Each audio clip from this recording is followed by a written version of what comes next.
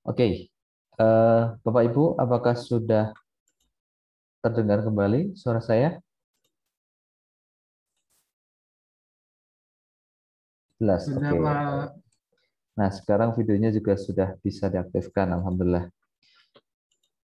Baik, kita lanjutkan. Ya.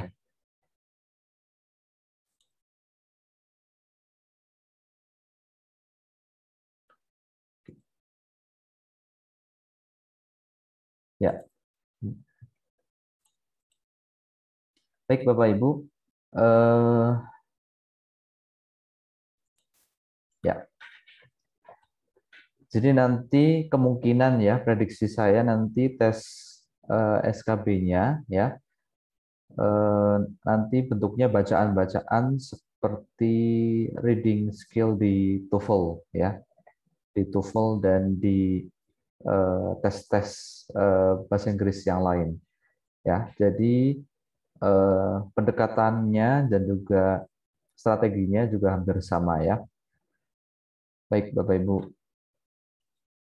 Kita mulai dari topik yang pertama ya, uh, yaitu what is the best way to approach the passage. Ya, pendekatan apa sih yang bisa Bapak Ibu lakukan nanti untuk menyelesaikan teks-teks bahasa Inggris ini ya. Okay, ini yang pertama. First, to take a quick look at the questions, ya, not at the answer choices, to see what will be asked about.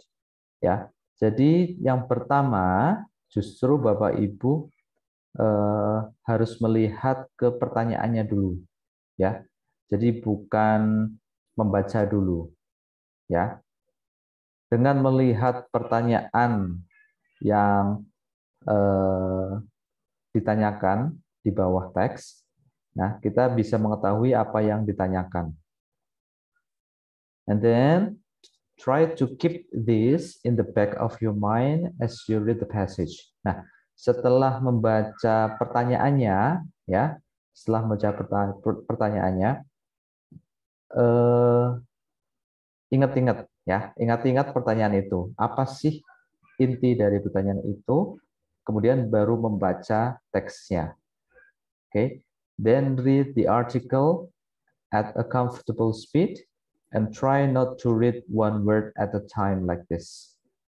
Ya. Kemudian baca teksnya ya dengan kecepatan baca yang Bapak Ibu nyaman gitu ya. Jangan terlalu cepat juga apabila Eh, kalau terlalu cepat nanti malah khawatirnya tidak bisa menangkap uh, isi dari teks tersebut ya.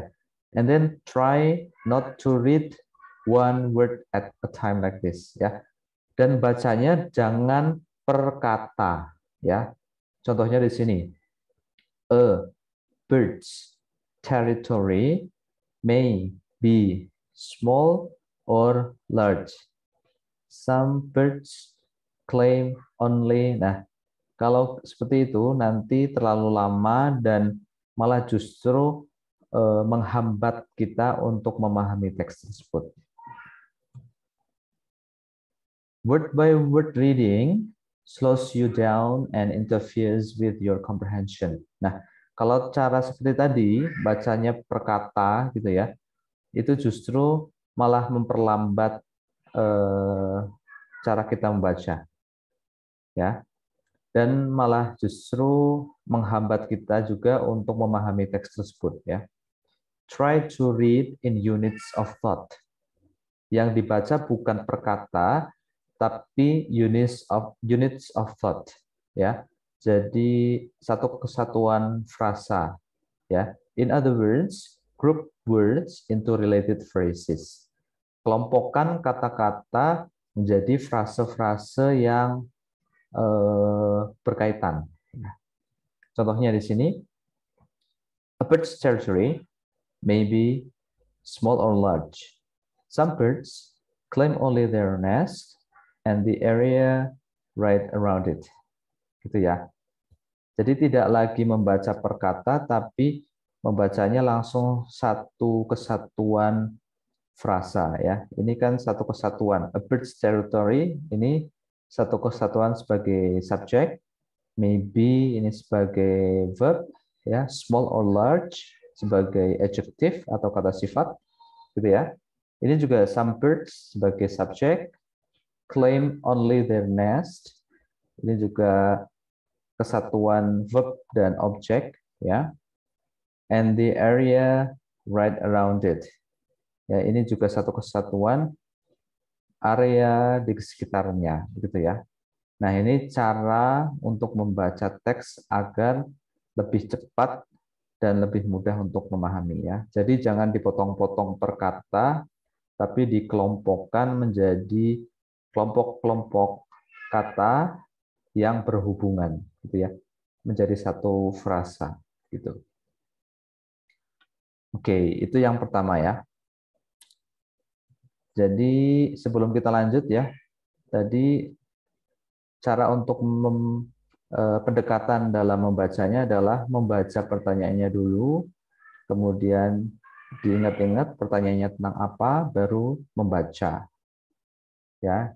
Dan selama proses membaca itu kita sambil mencari eh, jawaban dari baca dari pertanyaan yang tadi kita sudah baca sebelumnya, begitu ya.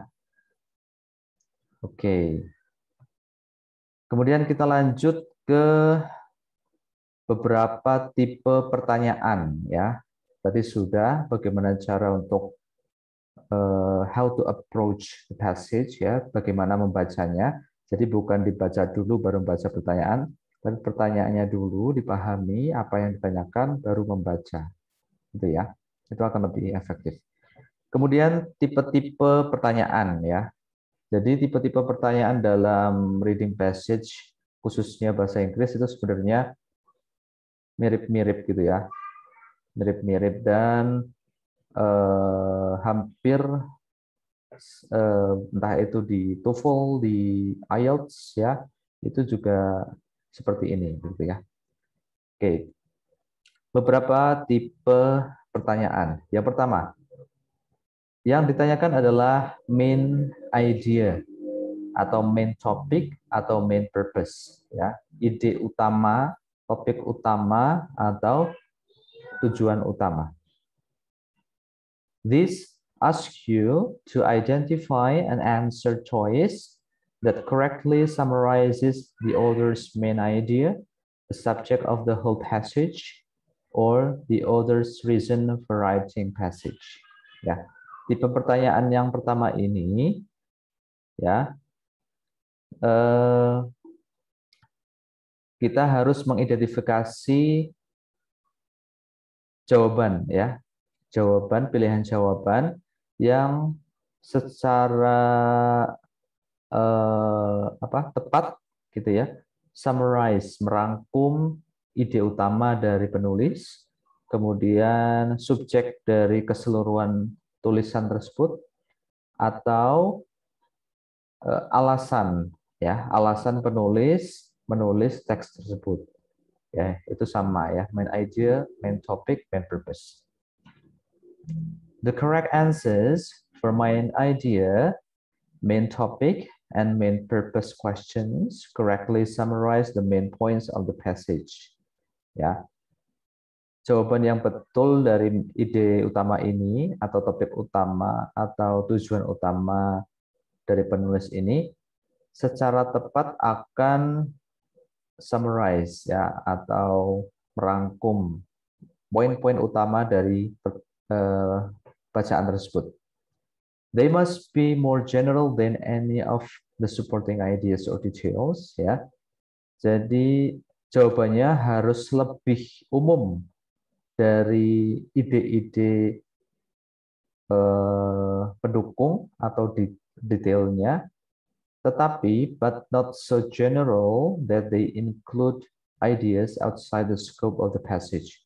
Tapi juga tidak terlalu umum yang uh, sampai mencakup ide-ide di luar uh, bacaan tersebut. Ya, oke. Okay. Uh, contoh pertanyaannya di sini adalah what is the main idea of the passage? Uh, what is the passage primarily about? Why did the author write the passage? The primary idea of the passage is which of the following best summarizes the author's main idea? Uh, dan yang terakhir, the main point of this passage is to bla bla bla. Ya, ini contoh pertanyaan yang menanyakan tentang ide utama, topik utama, atau tujuan utama dari penulis. Gitu ya. Oke. Kemudian contoh jawabannya, contoh pilihan jawabannya bisa to define, ya define mendefinisikan, to discuss, to illustrate, ya untuk mengilustrasikan, to distinguish between, untuk membedakan antara bla bla bla dan bla bla bla gitu. To relate to propose ya and then to support the idea that untuk mendukung ide gitu ya dan to compare untuk mem membandingkan ya. Nah ini contoh-contoh uh, jawabannya. Nah sekarang distract distractors ya. Distraktor itu uh, pilihan yang membuat bingung uh, test takers ya atau yang mengerjakan tes. Distractors for this type of questions have one of these characteristics. Nah, pilihan-pilihan jawabannya yang uh, membingungkan ya. Jadi, uh, cara pembuat soal untuk membuat test takers bingung itu dengan membuat distraktor ya. Dan karakteristiknya seperti ini distractors-nya. Yang pertama, they're too specific. Terlalu spesifik. Jadi belum merangkum semua ide dari bacaan tersebut ya. Kemudian yang kedua, they're too general, malah terlalu luas. Malah mencakup hal-hal atau informasi yang tidak eh, yang tidak dibahas di dalam teks tersebut ya too general. And then they're incorrect according to the passage. Uh, ada juga distraktor yang malah justru nggak salah ya tidak sesuai dengan bacaan tersebut. And then they're irrelevant or are related to the main idea of the passage. Ada juga yang sama sekali tidak berhubungan ya dengan ide utama dari bacaan tersebut ya. Jadi terlalu spesifik, terlalu umum, terus uh, kemudian uh, tidak berhub uh, sorry incorrect atau salah ya bertentangan dengan isi teks dan yang terakhir irrelevant atau tidak berhubungan. Oke, okay. ini contohnya ya, contohnya. Oke, okay, jadi dalam prakteknya Bapak Ibu langsung membaca uh, soalnya ya. Misalkan ini the primary purpose of this passage is to, oke okay, berarti intinya inti pertanyaannya adalah tujuan utama ya. Tujuan utama baru membaca.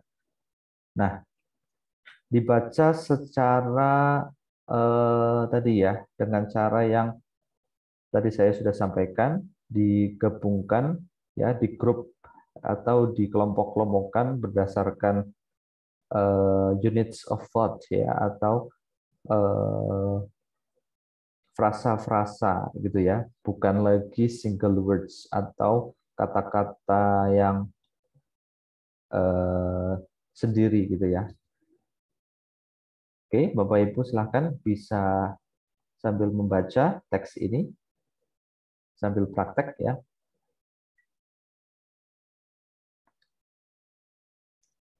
Teks ini uh, membahas tentang American folk music ya.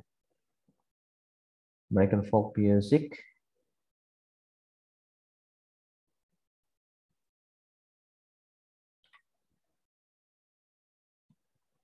Oke, di, sini dijelaskan American folk music. Jadi ide utamanya adalah American folk music ya. Kemudian American folk music ini di uh, transmitted atau disebarluaskan by oral tradition.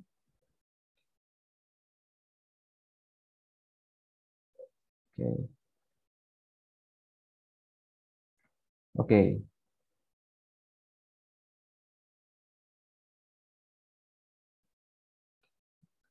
Oke, setelah dibaca sampai akhir, kita cek satu-satu ya uh, pilihannya. The primary purpose of this passage is to, oke, okay, kalau di sini uh, saya sudah kasih centang ya, jawabannya adalah yang A ya, trace the development of American folk music. Di sini kuncinya ada di kata development ya. Karena di sini kalau kita cermati, di sini ada perkembangan ya. Misalkan di sini beginning in the 1930s, uh, Woody Guthrie gained great popularity by adapting. Oke, okay. ini 1930, kemudian ini 1950 dan 1960-an ya. Jadi ada perkembangan dari American folk music. Ya, jadi uh, ide utamanya adalah American folk music. Lebih spesifiknya adalah development atau perkembangannya. Kita lihat yang B, distraktornya. Explain the oral tradition. Nah, padahal bahasnya kan tentang American folk music. Padahal kalau oral tradition itu cuma sebagian kecil ya informasi ya. Di sini dijelaskan it was transmitted by oral tradition. Jadi tradisi uh, dari mulut ke mulut itu cuma hanya sa sebagai sarana ya, sarana dari uh, penyebaran American folk music. Jadi ini salah too specific. Terlalu sempit atau terlalu spesifik ya. Kemudian contrast the styles of folk musicians. Nah, di sini kira-kira contrast atau membandingkan ya styles of folk musicians. Pada di sini kalau kita lihat tidak ada ya, tidak ada perbandingan antara style dari folk musicians.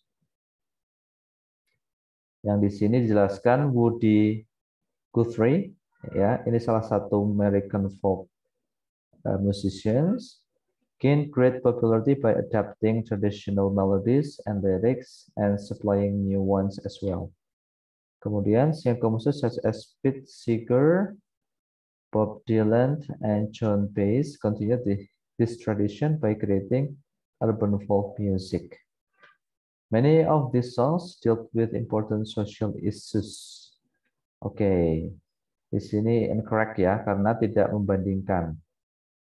Ini perkembangan ya, bukan membandingkan. And then yang di point out the influence of social issues on urban folk music. Nah ini malah tidak dibahas di teks ini ya kan. Uh, point out the influence, pengaruh social issues pada urban folk music. Malah justru informasi ini tidak ada di teks ini. Oke, jadi irrelevant. Oke, jadi jawabannya yang A ya. Yang sudah merangkum uh, ide dari ide utama dari teks ini. Oke. Kita lanjut se ini contoh selanjutnya. Silakan bisa dibaca dulu.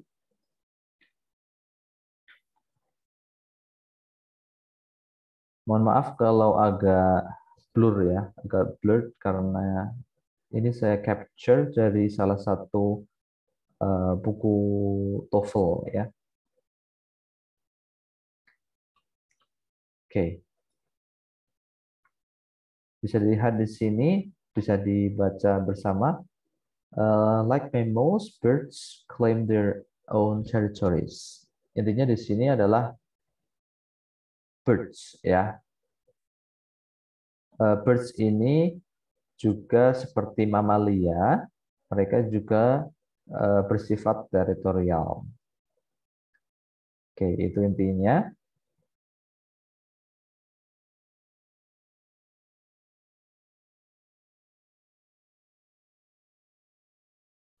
Kemudian paragraf yang kedua eh, lebih spesifik lagi yaitu membahas tentang male birds ya, male birds yang eh, mempertahankan teritorialnya ya.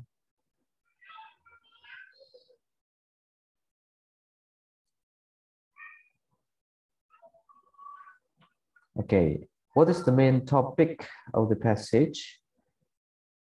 Eh, sorry. Okay. Topik utamanya, apakah A, birds that live in colonies, atau B, how birds defend their territory, the behavior of birds, and territoriality in birds. Oke, kita bahas satu-satu ya. Kalau yang A, birds that live in colonies, ini kurang sesuai ya, kurang sesuai karena yang dibahas adalah tentang teritorial dari birds ya atau burung ya. Jadi bukan birds yang eh, di dalam koloni ya. Jadi kita stucknya di eh, ide utama. Biasanya ide utamanya kebanyakan ya di awal paragraf ya di kalimat pertama. Oke, okay. how birds defend their territory. Nah, kalau yang B Betul sih, tapi terlalu spesifik ya. Karena bagaimana uh, how the birds defend itu hanya dibahas di paragraf kedua ya, male birds defend. Jadi cara untuk mempertahankan teritorial itu hanya sebagian dari keseluruhan informasi yang ada di teks ini ya. Kemudian the behavior of birds kalau yang C ini terlalu luas ya. Behavior atau kebiasaan dari birds kan macam-macam ya. Bisa kebiasaan saat eh, mencari makan ya atau saat bertelur gitu ya, macam-macam. Nah, sedangkan teks ini hanya membahas tentang teritorial. Jadi yang eh, jawaban yang paling tepat adalah yang D ya, territoriality in birds. Membahas tentang teritorial keteritorialan di dalam uh, di dalam dunia uh, burung ya birds. Oke jawabannya yang D. Ya. Jadi kita harus juga bisa menentukan bahwa pilihan ini terlalu luas, eh, pilihan ini terlalu spesifik karena ada hal lain yang dibahas gitu ya ada juga yang tidak sesuai atau tidak berkaitan dengan teks ini. Oke, okay, tadi tentang main idea. Bapak Ibu, sebelum saya lanjutkan, apakah ada pertanyaan tentang pertanyaan main idea, main topic, atau main purpose?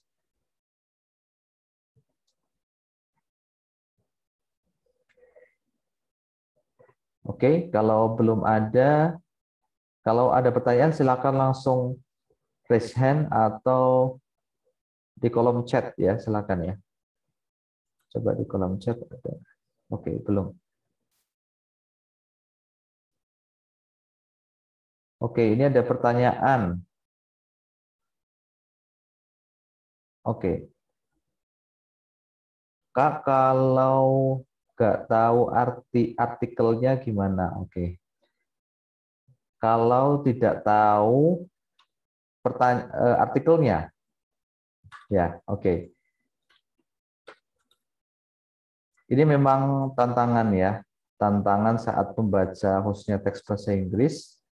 Eh, ini pentingnya praktek ya di dalam penguasaan bahasa memang kunci utamanya adalah practice ya.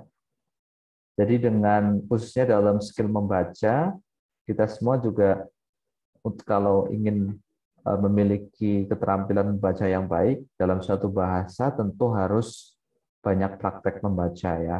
Karena dalam setiap praktek membaca kita bisa menambah kosakata, ya, menambah kecepatan dalam membaca, gitu ya, dan memahami teks tersebut.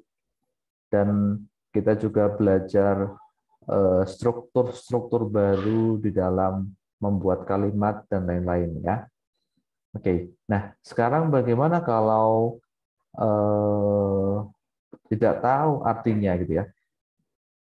Oke, untuk memahami sebuah teks itu kita sebetulnya sebetulnya tidak harus tahu tidak harus tahu setiap arti dari eh, kata-kata yang ada dalam teks tersebut ya.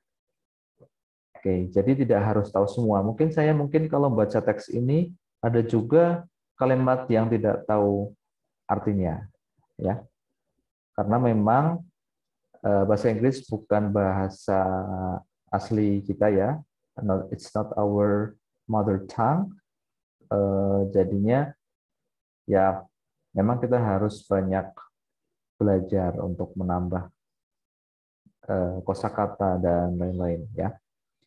Jadi tadi kembali lagi kita tidak harus tidak harus tahu makna setiap kata, tapi at least kita harus bisa memahami teks ini tentang apa gitu ya teks ini tentang apa. Nanti berbeda kalau ada pertanyaan yang tentang sinonim. Nah, itu nanti ada strateginya sendiri. Nah, ya.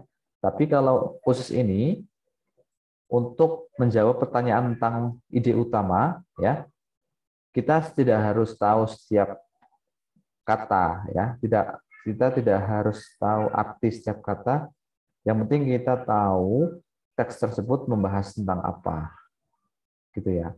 Jadi kita bisa menyimpulkan teks ini itu membahas atau ide utamanya itu tentang apa begitu. Oke. Ini ya, misalkan tadi male birds defend their territory chiefly saya nggak tahu artinya chiefly misalkan ya.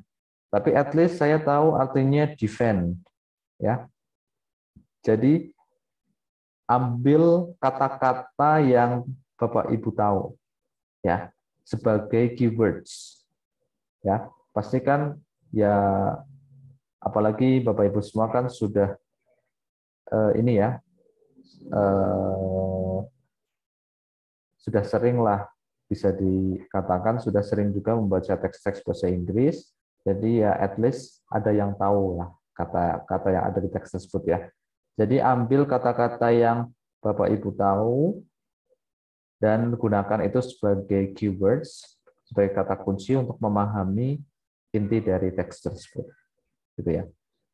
Misalkan di sini defend ya. Oke, okay. uh, paragraf kedua berarti menjelaskan tentang bagaimana birds itu mempertahankan teritorialnya gitu ya. Oke, di sini juga birds claim their own territories. Ya, claim pasti udah biasa ya mendengar kata claim. Kemudian territories, teritorial ya. Teritorial juga hal yang apa ya? Kata-kata yang sudah umum kita dengar gitu ya. Oke, itu ya. Jadi yang penting tidak harus tahu semua, yang penting kita bisa ambil dari keywords-keywords yang kita tahu artinya untuk menyimpulkan ide eh, ide yang dibahas itu apa dari teks ini gitu. Oke, pertanyaan selanjutnya Oke.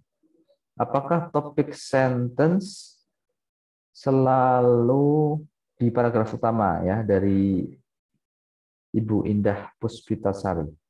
Oke, topik sentence itu tidak selalu di paragraf uh, sorry. Maksudnya mungkin ini topik sentence tidak selalu di awal paragraf mungkin ya. Ya. Ya jadi topik sentence sebetulnya tidak tidak selalu di awal paragraf. Tapi kebanyakan ya kebanyakan teks-teks yang ada di Eh, tes-tes bahasa Inggris seperti TOEFL, IELTS atau TOEIC ya dan eh, tes-tes bahasa Inggris lainnya kebanyakan di awal paragraf ya karena teks-teks ilmiah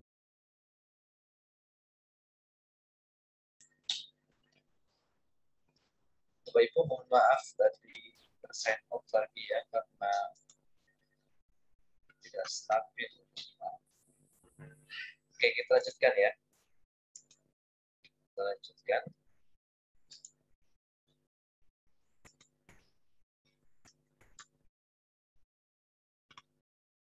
Oke, tadi pertanyaannya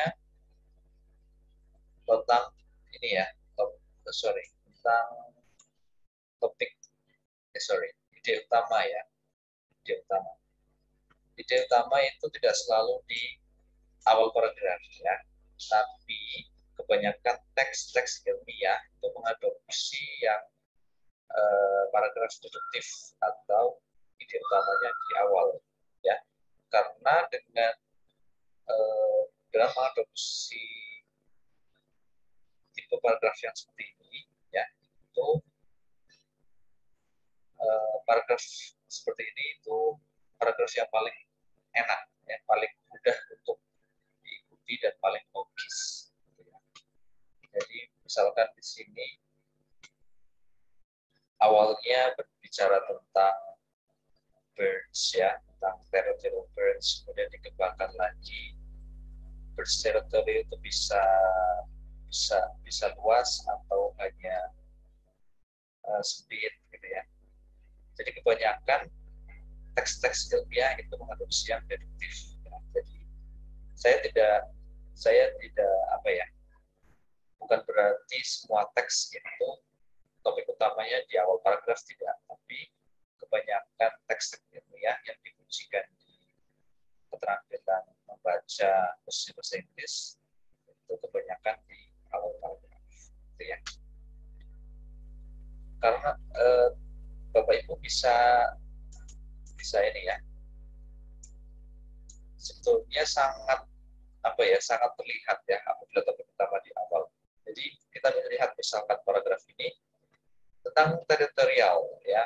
Oke, okay, birds claim their own territories. Kemudian kalau kita lihat di kalimat-kalimat berikutnya pasti masih ada hubungannya dengan kalimat pertama ya. Some birds claim only their nest. Ya, ini juga masih ngomongin tentang territories. Kemudian ini gulls, penguins, and other waterfowl nests in its colonies. Ini masih ngomongin tentang lebih spesifik lagi tentang tipe ya. Gitu ya. Jadi menjelaskan lagi tentang uh, memberikan detail ya dari ide utama di awal paragraf. Oke, gitu ya. Kemudian pertanyaan berikutnya, untuk mengetahui main idea harus dibaca keseluruhan ya Pak Alex ya dari Ibu Febri Malviro. Untuk mengetahui ide utama ya sebetulnya kita tidak harus membaca semua ya karena sudah jelas biasanya sudah kelihatan misalkan. Kita lihat saja misalkan teks pertama ya. Like mammals birds claim their own territory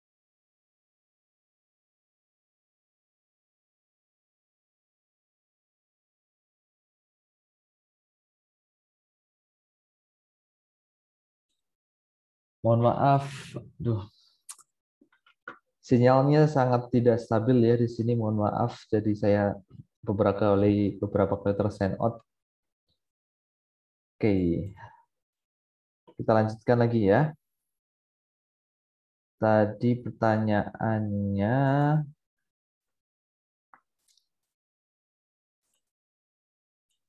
Oke, Tadi pertanyaannya, untuk mengetahui ide utama, apakah harus dibaca semua? Jawabannya tidak, ya, tidak. Karena kita bisa langsung menerka, ya, menerka mana eh, ide utamanya atau topik utamanya, ya. Misalkan di teks ini, ya, teks ini kita lihat di Kalimat pertama ya, like mammals, birds claim their own territories. Oke, ini topik utamanya adalah tentang teritorial burung ya. Kita lihat kalimat-kalimat berikutnya. Kalau kalimat-kalimat berikutnya masih membahas tentang kalimat pertama tadi, berarti otomatis kalimat pertama tadi adalah topik utamanya. ya. Kalimat keduanya, a bird's territory may be small or large. Nah, ini menjelaskan tentang teritorial burung. Berarti menjelaskan tentang kalimat sebelumnya. Some birds claim only their nest and the area right around it. Ini juga masih uh, membahas tentang teritorial burung ya. Dan kita lihat di paragraf eh sorry, kalimat terakhir Gulls, penguins, and other waterfowl nest in huge colonies, but even in the biggest colonies, each male and his mate have small territories. Nah, ini juga masih membahas tentang territories ya, tapi lebih detail lagi karena sudah menyebutkan tipe-tipe burungnya. Nah, ini otomatis topik utamanya adalah di kalimat pertama. Gitu ya. Jadi dicek aja kalimat-kalimat berikutnya masih menjelaskan tentang kalimat pertama atau tidak. Ya. Kan biasanya topik itu kalau tidak di awal ya di akhir ya. Kalau di akhir juga begitu berarti semua kalimat-kalimat sebelumnya dari awal sampai terakhir itu terakhir sebelum yang terakhir gitu ya itu menjelaskan tentang kalimat yang terakhir di paragraf itu. Itu kalau eh, paragrafnya induktif atau topik utamanya di akhir ya. Tapi sekali lagi kalau eh, teks-teks ilmiah biasanya kebanyakan deduktif di awal. Ya. Oke, kita lanjut ke pertanyaan Oke, suaranya apa? Apakah jelas, Bapak Ibu?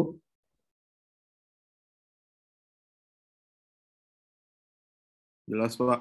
Oke, jelas ya. Saya khawatirnya kurang jelas karena uh, sinyal di rumah saya agak sulit ya, karena saya tinggalnya di pegunungan ya. Oke, kita lanjut ke pertanyaan berikutnya. Bagaimana, bagaimana dengan main idea? Apakah juga selalu dari paragraf 1? Oke. Okay. Main idea. Oke. Okay. Main idea itu memang eh, biasanya di paragraf pertama ya, karena paragraf-paragraf berikutnya biasanya menjelaskan lebih detail dari topik utamanya. Tapi tidak menutup kemungkinan nanti paragraf yang muncul itu bukan uh, dari awal paragraf gitu ya. Maksudnya misalkan dalam satu full text itu ada lima paragraf misalnya. Nah, itu kan berarti topik utamanya ada di paragraf satu. Nah, tidak menutup kemungkinan nanti ada pertanyaan atau soal di situ paragrafnya mulai paragraf 3 sampai 5 ya. Jadi yang dimunculkan hanya paragraf ketiga, 4 dan 5. Yang satu dua tidak dimunculkan. Kemudian ditanyakan kira-kira eh, paragraf sebelumnya ya, paragraf sebelumnya berarti ya paragraf 2 dan paragraf 1 itu membahas tentang apa? Itu juga bisa. Nanti ada strateginya juga tersendiri ya kalau menemui eh, tipe soal seperti itu. Oke.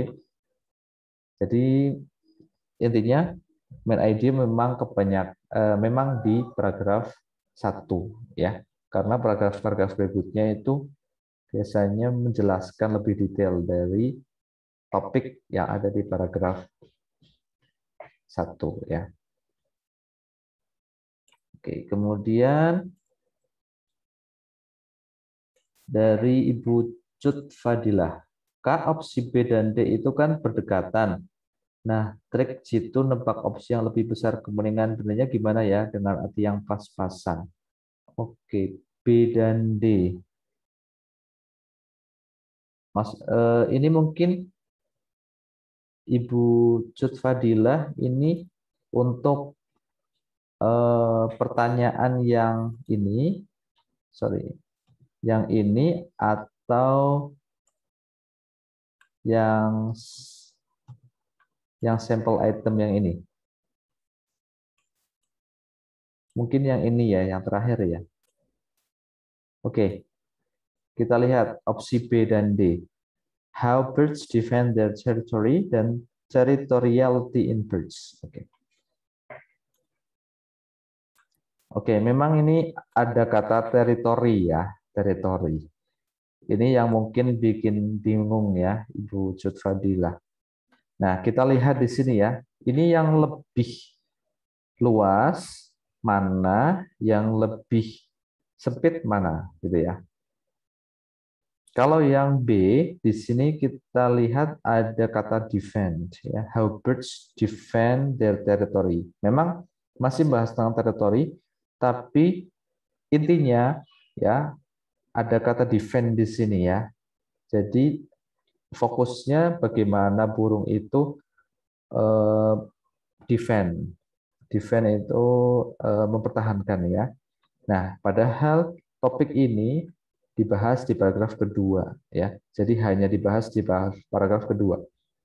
Di paragraf satu tidak membahas tentang defend. Ya.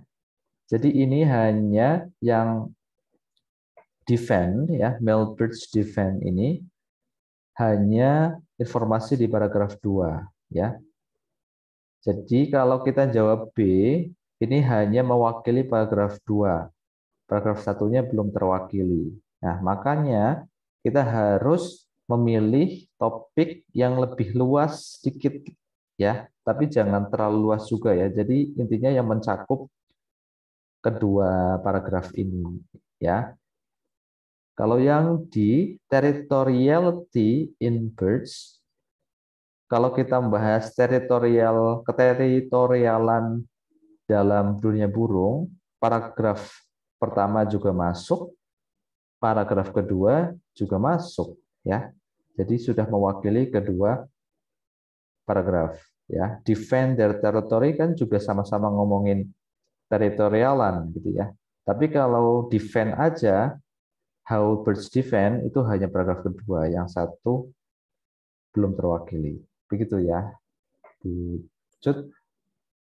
Jadi eh, di, eh, dicermati di situ ada pasti ada kata yang membedakan. Walaupun di situ sama-sama ada teritorial, teritorial, tapi di situ ada kata-kata lain yang membuat pilihan itu eh, menjadi lebih sempit atau malah terlalu luas atau jawaban yang tepat gitu ya.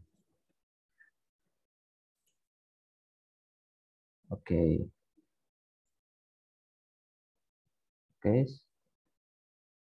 Sepertinya sudah tidak ada tanya lagi. Oke, kita lanjut ke pembahasan berikutnya ya. Tadi tentang ide utama sudah. Sekarang pertanyaan berikutnya adalah tentang tone and attitude questions. Ya. Tone and attitude questions. Tone and attitude questions ask you to determine the author's feelings about the topic by the language that he or she uses in writing the passage. Nah, di sini tone atau sikap atau nada ya. Nada, pertanyaan tentang nada atau sikap penulis.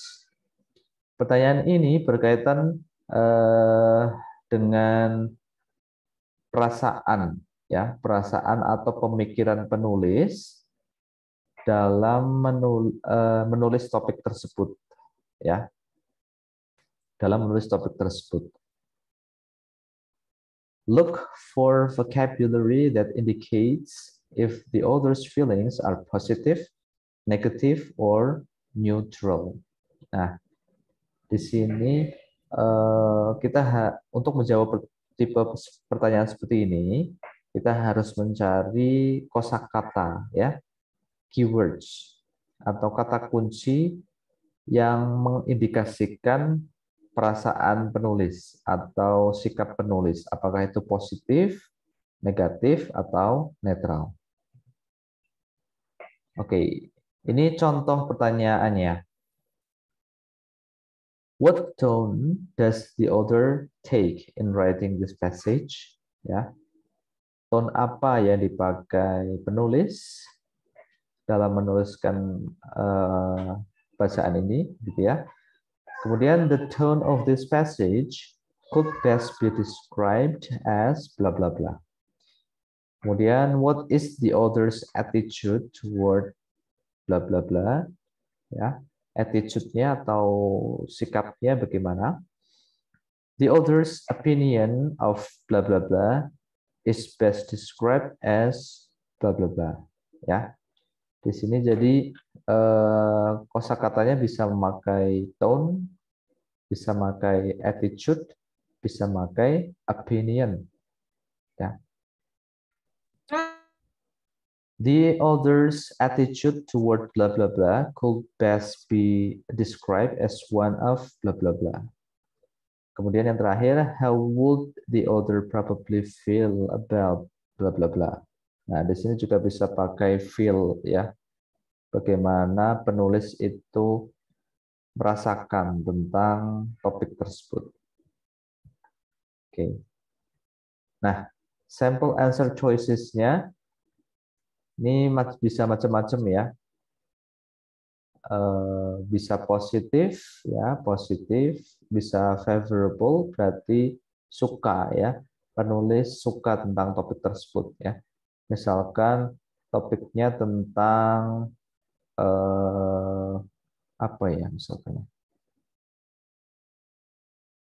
Misalkan yang agak kontroversial itu biasanya misalkan smoking ya smoking uh, kalau favorable berarti penulis di situ menunjukkan kalau dia suka ya dia mendukung gitu ya mendukung kalau smoking itu ya it's okay gitu ya kemudian optimistic amused Muse itu sama dengan pleased ya, terhibur, respectful, humorous, ya humorous, and then negative, critical, unfavorable. Ini lawannya favorable, berarti dia tidak suka ya. Angry, ya, or deviant. Ya, deviant itu ya perasaan seperti apa ya? Bangga ya bangga. Kalau eh, tidak tidak apa ya? Bangga kalau tidak mengikuti suatu aturan ya itu deviant worried outraged outraged itu ma sangat marah gitu ya neutral objective impersonal Oke, ini contoh-contohnya. Oke, kita sekarang lihat contoh kalimatnya ya. Jadi untuk mengetahui attitude, tone, atau feeling dari penulis, kita harus uh, cari keywords ya, atau uh, kata kunci yang menunjukkan feeling tersebut. Contohnya yang A, that was just the beginning of a remarkable series of performances by this brilliant actress.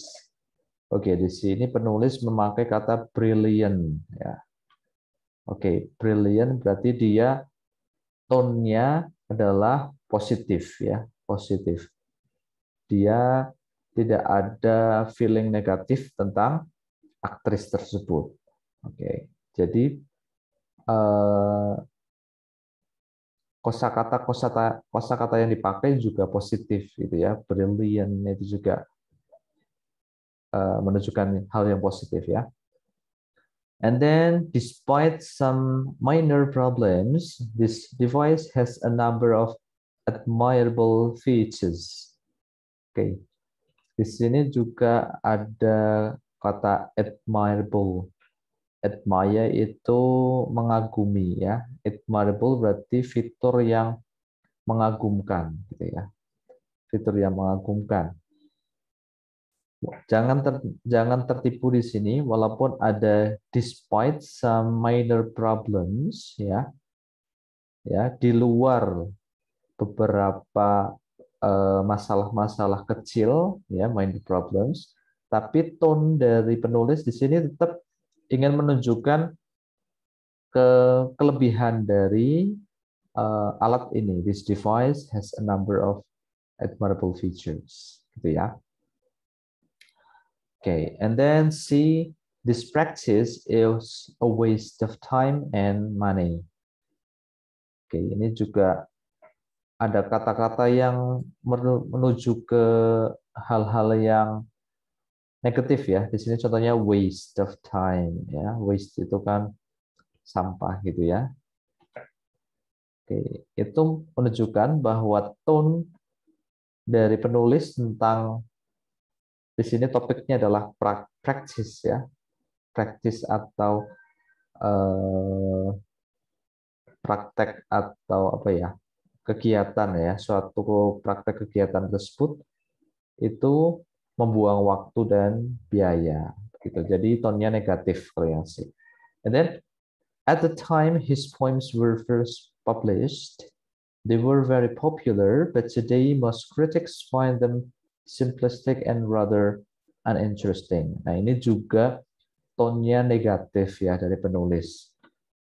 Di sini menunjukkan bahwa first publish pada awal terbit itu sangat populer, tapi saat ini banyak kritik ya, banyak kritik yang menunjukkan bahwa karya tersebut poems ya itu simplistic dan uninteresting, tidak menarik ya. Jadi tonnya juga negatif. Oke, saya kira yang tone ini uh, mudah ya. Apabila Bapak Ibu nanti di teks tersebut menemukan banyak kata-kata yang negatif ya. Tentu dengan catatan Bapak Ibu uh, tidak harus tahu ya semua kata, semua makna dari kata yang ada teks itu, at least tapi kan pasti ada yang tahu lah sedikit-sedikit gitu ya sedikit-sedikit seperti waste itu kan hal yang sudah apa ya kata yang sudah biasa kita dengar gitu ya. Brilliant itu kan mudah ya. Jadi cari kata-kata yang tahu ya. Tidak harus tahu semua tapi kita harus mencoba untuk cari tahu begitu ya. Tone dari penulis tersebut. Oke. okay. Oke, untuk tone sepertinya belum ada pertanyaan ya. Saya akan lanjutkan. Kalau Bapak Ibu ada pertanyaan, silakan langsung bisa menulis ke chat box ya. Oke, saya lanjutkan ke topik berikutnya ya, yaitu organization questions ya tentang organization questions atau pertanyaan tentang uh, organisasi atau pengaturan dari teks tersebut. These questions ask about the overall structure of a passage or about the organization of a particular paragraph. Ya, jadi pertanyaan ini tentang bagaimana paragraf tersebut disusun, strukturnya bagaimana, gitu ya. Sample questions. Pertanyaan contohnya adalah contoh pertanyaannya which of the following best describes the organization of the passage? Ya.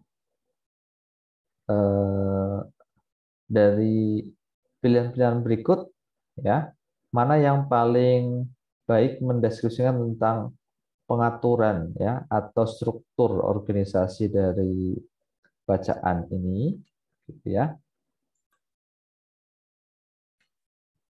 Dan contoh jawabannya adalah seperti ini. A general concept is defined and examples are given. Jadi konsep secara umumnya didefinisikan, kemudian dikasih contohnya. Itu struktur paragraf ya. Struktur paragrafnya berarti konsepnya dulu, baru contoh-contohnya. Atau yang berikutnya, several generalizations are presented from which a conclusion is drawn. Ya. Kemudian beberapa generalisasi atau hal-hal umumnya itu dimunculkan, baru disimpulkan bisa juga. The author presents the advantages and disadvantages of bla bla bla. Kalau ini penulis mempresentasikan kelebihan dan kekurangan dari sebuah hal. Ya, itu kalau strukturnya memang di teks tersebut uh, memunculkan kelebihan dan kekurangan dari sesuatu, ya. Yang berikutnya, the author presents a system of classification for ini kalau struktur paragrafnya uh, mempresentasikan tentang sebuah sistem klasifikasi atau pembagian ya. Kemudian persuasive language is used to argue against bla bla bla. Bahasa yang membujuk digunakan untuk berargumen melawan bla bla bla. Ya. The author describes ini kalau mendeskripsikan ini berarti uh, untuk tes deskriptif ya, teks deskriptif. And then the author presents a brief account of bla bla bla. Ini kalau teks tersebut ya uh, mempresentasikan tentang hal suatu hal secara umum, gitu ya.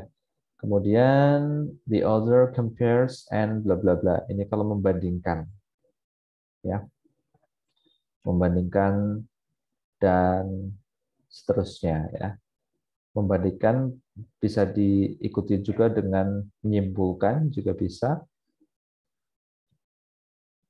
Oke, ini contoh soalnya. Silahkan Bapak Ibu bisa membaca sekilas ya. Di sini pertanyaannya, which of the following best describes the organization of the passage? Nah, ini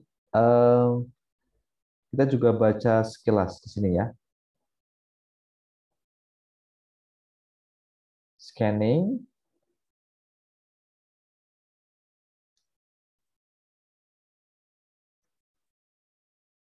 Ini teksnya tentang dancer Isadora Duncan.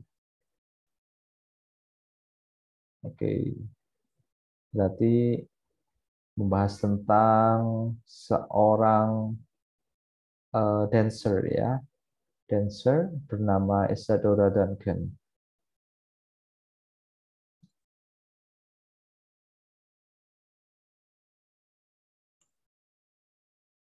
Oke, Bucut nih sudah memba Oke, sudah menjawab. Jawabannya A. Wah, cepat ya. Bagus. Oke, kita langsung bahas ya. Oke, di sini berarti intinya apa nih? Kita lihat. Isadora Duncan ini berarti dia tonnya positif ya, karena dia uh, daring and dynamic innovator in dance. While she was not very successful, her highly personal style of dance to others, she taught a generation of dancers to trust their own forms of expression. Iya, betul.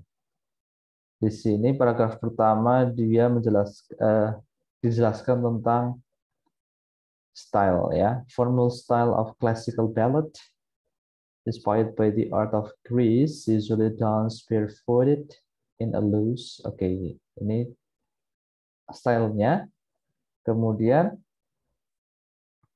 yang kedua, Isadora Duncan was born. She gave her first performance. Oke, okay, ini lahir ya, tentang lahir. Kemudian dia perform pertama tahun ini. She live, oke. Okay. Establishing dancer school. She died, berarti ini tentang uh, life story-nya ya. Freak accident, her long scarf being cut, Oke, ini tentang life ya, life story. Oke. kita lihat ya pertanyaannya, eh, jawabannya. Yang A, the author first discusses Isadora Duncan's style of dance and then her life history. Oke, okay. pas ya, betul. Berarti jawabannya bucut, betul ya, yang A. Coba kita lihat yang lain. The first paragraph deals with Isadora Duncan's role as a teacher. Tidak ya. Di sini dia tentang style. Bukan tentang as a teacher ya bukan role-nya, bukan uh, apa ya, role itu peran ya.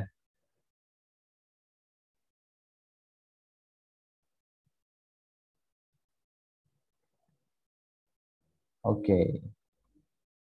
Di sini ada tapi jangan tertipu di sini ada kata taught ya. She taught a generation of dancers to trust their own forms of expression. Tapi intinya ini tentang style ya, her highly personal style. And then the second the second her role as a performer. Nah, yang second ini juga her role as a performer juga tidak mewakili paragraf kedua ya, karena paragraf kedua kan tentang perjalanan hidupnya Isadora Duncan. And then yang C, the author first discusses Isadora Duncan's shortcomings and then her positive points. Tidak juga ya. Shortcomings itu um, kekurangan-kekurangannya ya. Dan positive points. Kekurangan dan positif poinnya juga tidak ya. First, there is an analysis of Isadora Duncan's influences and then of her lasting contributions to dance. Ini juga tidak. Oke, yang paling betul yang A ya. Very good. Oke, kita lanjut ke berikutnya. Tadi tentang organization. Nah, yang berikutnya adalah questions about previous or following paragraphs. Nah, ini tadi yang juga sempat saya singgung depan. Eh, pertanyaan tentang previous ya previous itu sebelum following itu selanjutnya ya jadi paragraf tentang sebelum dan paragraf selanjutnya ya intinya ditanyakan kira-kira paragraf sebelumnya ngomongin tentang apa atau paragraf berikutnya ngomongin tentang apa gitu ya. They ask you to assume that the passage is part of a longer work. Ya. Jadi pertanyaan ini mem, uh, di dalam pertanyaan ini kita harus mengasumsikan bahwa reading passage tersebut itu mas hanya uh, serpihan ya, hanya potongan dari sebuah teks yang lebih panjang ya. Jadi seperti tadi yang saya kasih contoh, misalkan aslinya lima paragraf yang ditampilkan hanya paragraf 3 sampai 5 yang satu duanya tidak ditampilkan atau dihilangkan gitu ya. What would be the topic of the hypothetical paragraph that precedes or follows the passage? Ya, topik biasanya ditanyakan topik dari paragraf sebelumnya kira-kira tentang apa atau topik paragraf selanjutnya tentang apa gitu ya.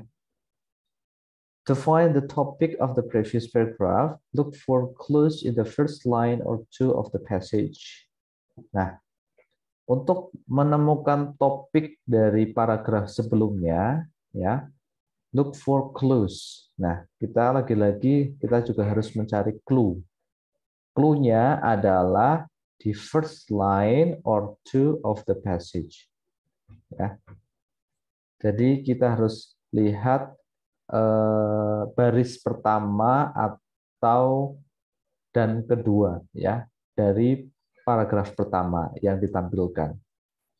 For the topic of the following passage, look in the last few lines.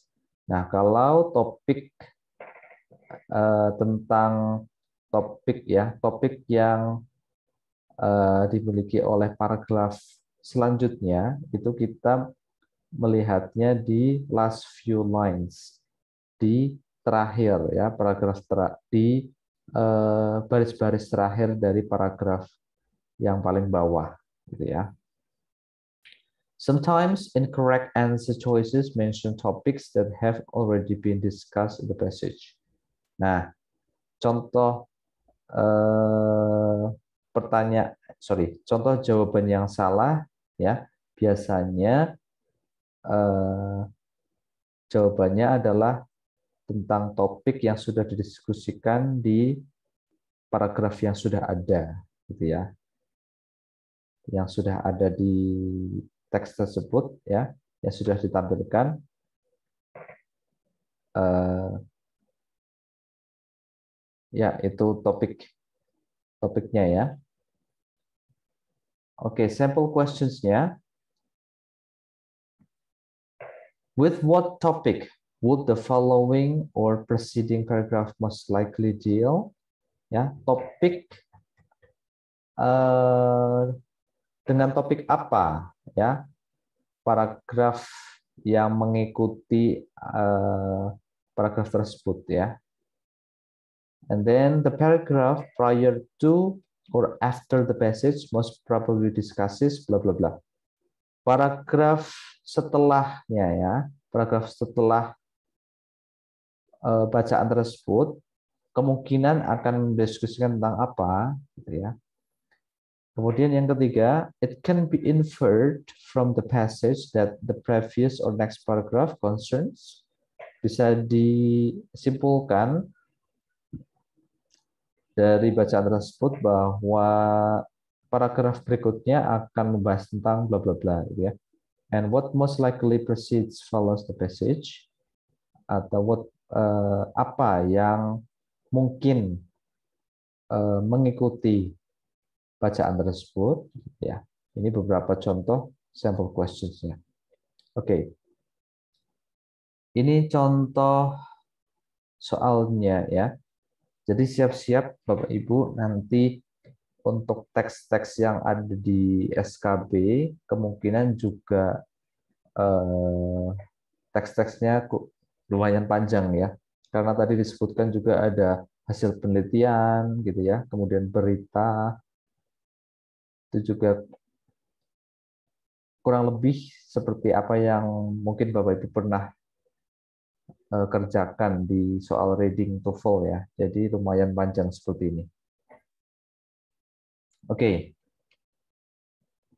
Di sini pertanyaannya, the paragraph that precedes this passage most probably deals with. Jadi yang ditanyakan paragraf yang mendahului passage ini. Oke, tadi caranya kita harus melihat uh, first or the second line of the first paragraph yang ada di sini ya. Berarti kita lihat kalimat pertama dari paragraf yang paling atas. Another critical factor that plays a part in sorry, ini saya agak ketutupan ini ya. Oke. Tertutup oleh tulisan your screen sharing.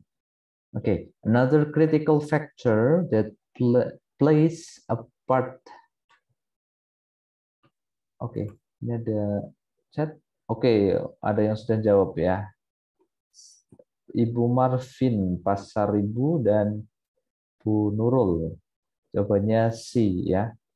Oke, bagus. Sangat cepat ya.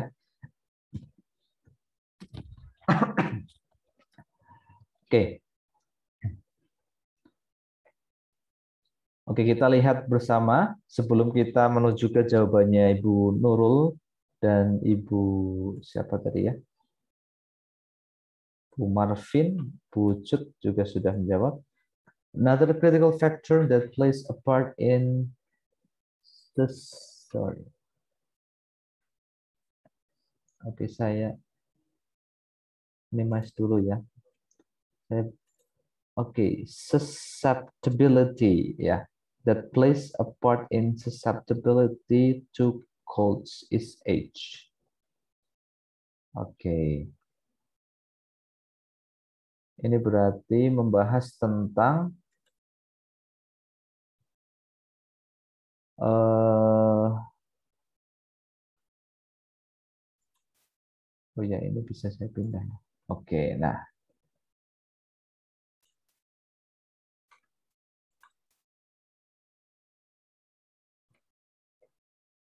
Tentang faktor ya, faktor yang um, faktor yang menyebabkan colds ya atau uh, bisa dikatakan ini ya flu ya gitu ya adalah H yang pertama ya. A study done by the University of Michigan Schools of Public Health seem to uh, to hold true for the general population. Infants are the most cold-ridden group. Okay, favor aging more than six colds in their first year. Boys have more colds than girls up to age three. Okay. kita lihat di sini Berarti kira-kira kalau paragraf ini kan membahas tentang faktor ya, another critical factor. Faktor utama lain yang menyebabkan flu ya, itu adalah age. Uh, umur ya. Berarti kira-kira sebelumnya berarti faktor lain ya, faktor critical atau faktor penting lain yang menyebabkan colds. Kita lihat. Minor diseases other than colds tidak. Ya. Karena yang dibahas tentang uh, tadi ya, penyebab demam ya atau flu. Minor diseases other than colds tidak. The recommended treatment of colds juga tidak. A factor that affects susceptibility to colds ya, yang betul yang C ya, very good. Jadi bisa diterka. Jadi lihat di clue-nya ya. Di sini clue-nya another critical factor. Berarti sebelumnya pasti ada critical factor yang lain yang disebutkan gitu ya. Nah, itu kalau untuk menebak paragraf sebelumnya. Kalau paragraf selanjutnya berarti kita juga harus melihat kalimat terakhir dari paragraf paling bawah gitu ya untuk menebak kira-kira topik apa yang akan dibahas selanjutnya. Ya. Oke. Okay. Oke, okay, very good. Ini ada pertanyaan. Maaf, saya pria Pak. Oh, ya, ya, ya, ya. Ibu ya, sorry. Soalnya ada pasar ibu saya. Saya kira ibu-ibu ya. Ternyata bapak-bapak ya. Maaf ya, Pak Marvin. Oke, kita lanjutkan ya. Oke, tadi tentang paragraf yang mendahului atau selanjutnya.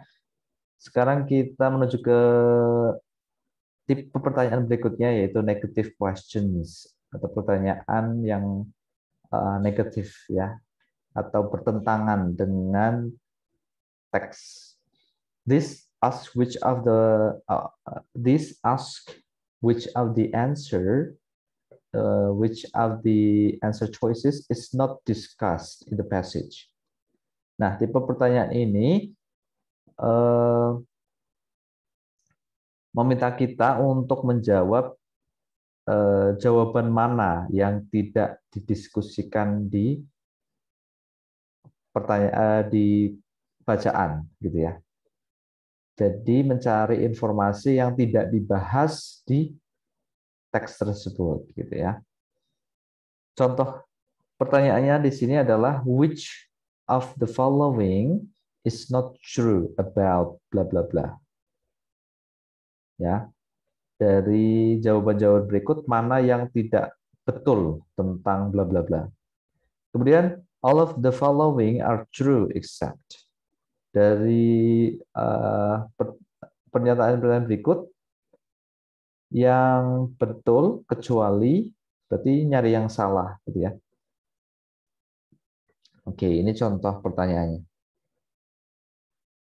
Aduh, ini kelihatan tidak ya? Semoga terlihat ya karena ini saya uh, screenshot.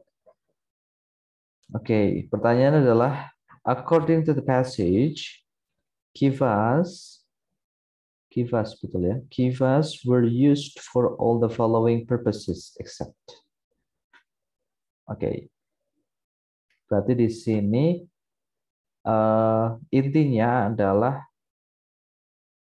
kegunaan dari kifas. Nah, kita cari kegunaan dari kifas. Oke, paragraf pertama kita baca sekilas ya. Belum menemukan kata kifas.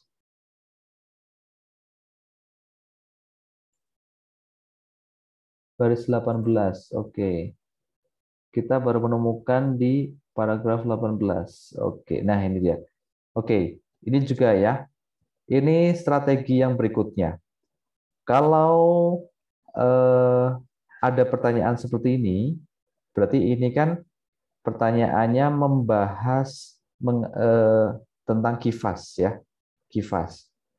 Jadi saat membaca kita pertama kan sudah membaca soalnya, oke tentang kifas. Nah kita langsung scanning namanya, teknik scanning. Scanning itu tidak membaca semuanya, tapi kita langsung membaca secara sekilas, mencari kata kifas, gitu ya. Kita langsung mencari kata kifas tadi, seperti yang saya lakukan. Nah, ternyata kifas ada di paragraf, eh sorry, di baris ke-18. Nah, di sini. Nah, baru setelah menamakan menemukan kata kifas, baru kita baca kalimat yang ada kata kifas itu dan sebelumnya dan setelahnya gitu ya untuk mencari informasi detail tentang kifas ini. Oke, kita baca. All the villages had underground chambers. Oh, namanya kifas ya. Nah, underground chambers. Men held tribal councils. Okay, held tribal councils there and also used them for secret religious ceremonies and clan meetings. Nah, ini setelah kata kifas langsung dijelaskan fungsi dari kifas yaitu untuk mengadakan tribal councils there. Walaupun kita nggak tahu artinya tribal councils, at least kita akan tahu artinya held. Held itu mengadakan ya. Intinya men atau orang-orang laki-laki di sana mengadakan triple councils di sana. Kemudian kifas juga dipakai untuk uh, upacara keagamaan dan juga clan meetings ya. Clan meetings juga saya nggak tahu misalkan ya. Ini yang penting kan saya tahu kalau clan meetings itu salah satu fungsi di kifas gitu. Wedding paths, uh, wedding paths ladders and steps cut into the stone led from the village below to the ledges on which the village stood. Oke. Okay. Di sini kita lihat ya, kifas were Oke, okay, sudah jawab semua ya. Ya. Bagus. Gampang ya ini ya.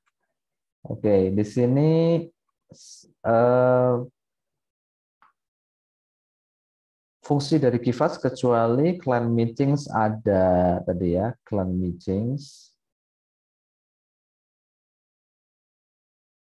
Clan meetings, kemudian religious ceremonies dan tribal councils. Yang salah adalah food preparation. Oke, okay. gitu ya. Jadi intinya kalau uh, ada pertanyaan tentang ini namanya factual details ya kalau ada pertanyaan tentang yang detail seperti ini yang ditanyakan kan kifas. Ya, kita langsung cari kata kifas di situ. Jadi jangan dibaca semua, nanti waktunya habis. Atau kalau ditanyakan hal lain, misalkan eh, apa ya? Misalkan eh, the function gitu ya. Nah, the function of bla bla bla gitu ya. Nah, kita cari kata function di teks itu atau sinonimnya. Sinonimnya function. Ya, jadi tidak selalu eh, kata tersebut yang selalu muncul tapi bisa juga sinonimnya. Kalau kifas kan mungkin uh, tidak ada sinonimnya ya karena ini kan uh, kat, uh, nama dari sebuah istilah ya istilah dari sebuah uh, chamber atau ruangan gitu ya. Tapi kalau nanti ada kata yang lain ya itu bisa juga muncul yang sinonimnya ya sinonimnya. Oke okay. good next. Okay scanning questions selang selanjutnya ya. Belum ada pertanyaan ya. Saya sambil cek oke okay, belum sekarang tipe selanjutnya adalah scanning questions This asks you to find the place in the passage that some topics are mentioned. Ini sebetulnya uh, tadi ya, salah satu tipe scanning questions juga seperti tadi ya. Jadi pertanyaan yang membutuhkan kita untuk menyekan ya scanning. Namanya scanning kan tidak dicek tidak diambil semua tapi hanya informasi-informasi tertentu yang kita cari gitu ya. And then ini ya, pertanyaan ini berarti uh, me, meminta kita untuk mencari ya, mencari topik mana topik tertentu di dalam teks tersebut. Ya, gitu. Contohnya, contoh pertanyaannya, where in the passage does the author first discuss bla bla bla? Ya, pertama kali membahas tentang sesuatu seperti tadi kifas itu baru di paragraf ketiga baru dibahas itu ya contohnya. Oke, okay, next. Oke. Okay. Semoga jelas ya. Pertanyaannya where in the passage does the author describe the hammered Dalkimer? Oke, okay. hammered Dalkimer. Berarti kita langsung mencari kata hammer document di sini ya.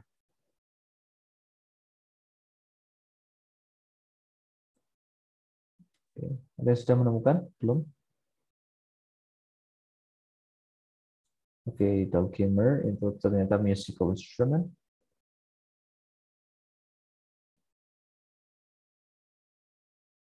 Oke, ada yang sudah balik.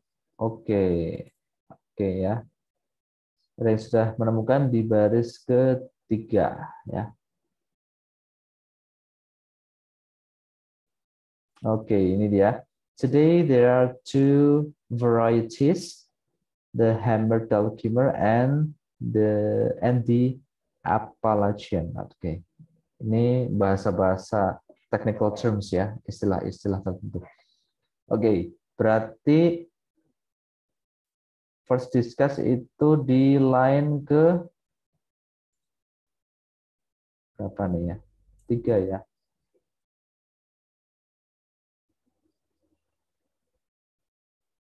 Oke. Okay. Line 1, 2, 4, 5. Oke. Okay. Nggak ada line ketiga ya. Oke, mungkin ada yang lebih tepat ya. Kalau di sini kan eh, baru disebutkan varieties-nya ya atau tipenya.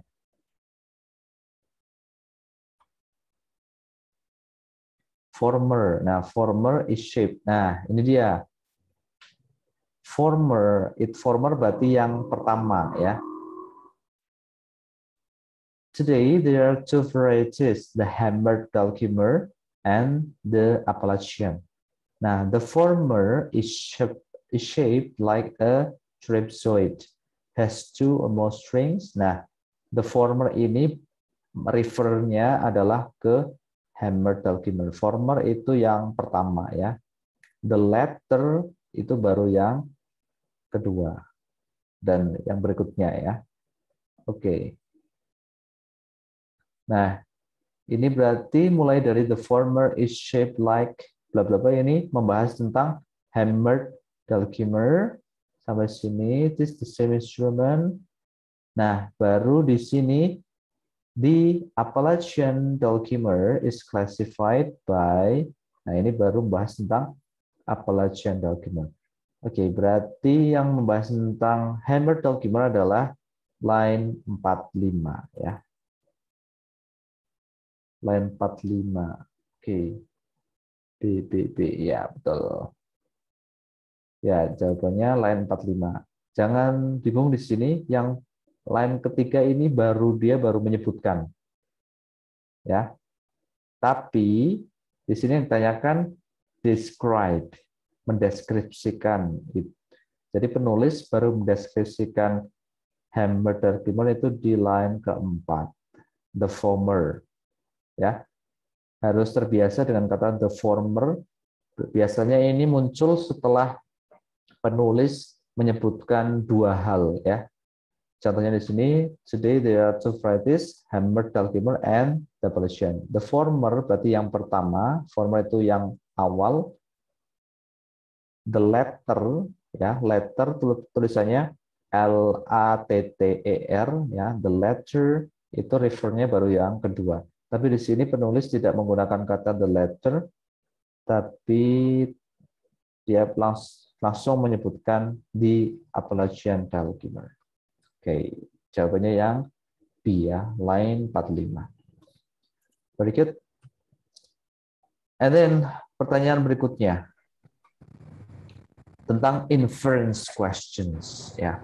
Ini yang agak menantang. Gak terbatas apa sampai telung puluh lima. Telung puluh lima aku berhenti. Aha, sepuluh. Sepuluh benar telat. Oke, lanjut ya. Uh, inference, inference berarti kita harus menyimpulkan, ya, implication. This asks you to draw conclusions based on information the passage. Nah, pertanyaan model seperti ini uh, meminta kita untuk menyimpulkan berdasarkan informasi yang ada di teks tersebut, ya. Jadi menyimpulkan.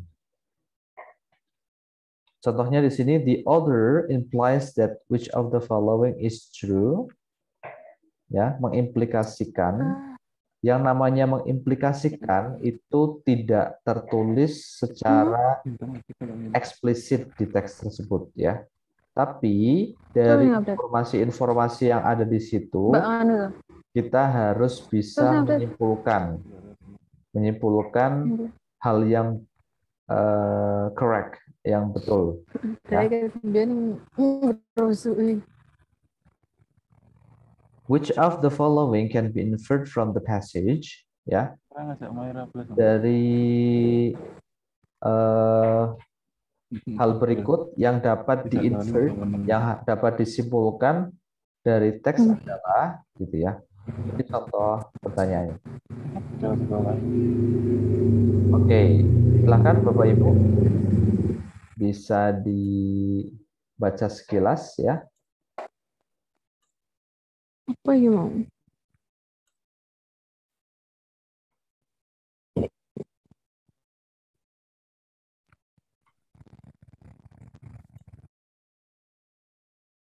Oke. Okay. Pertanyaannya, it can be inferred from this passage that ah, ada yang sudah aku lihat belum?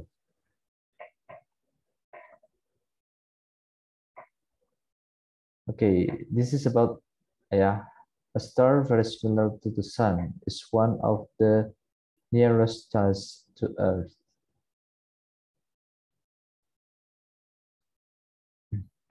The star is Alpha Centauri. Okay.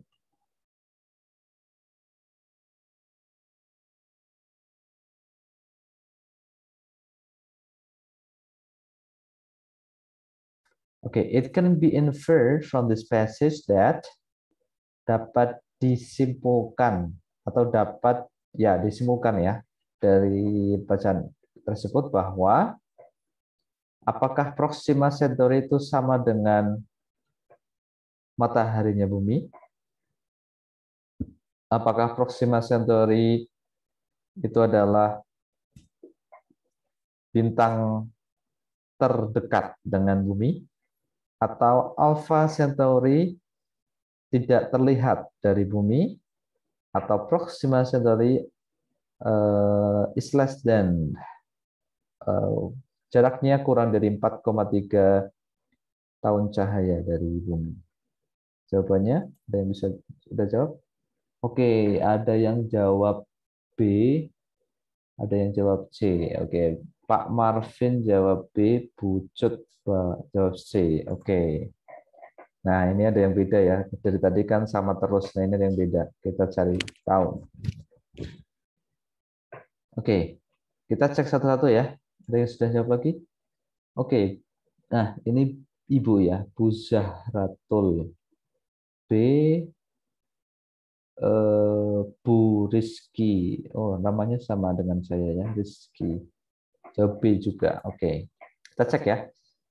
Yang A, Proxima Centauri itu sama dengan mataharinya bumi. Betul atau salah?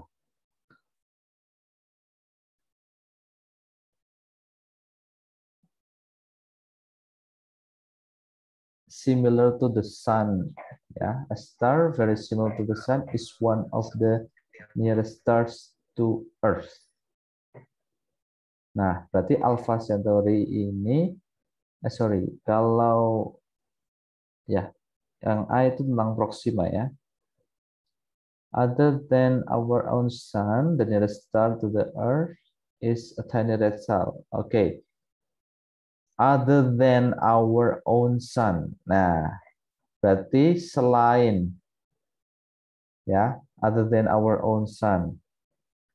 Berarti bukan our sun ya, other than other than selain our sun, the nearest star to the earth is tiny red star, not visible without telescope called Proxima. Oke, jadi yang A salah.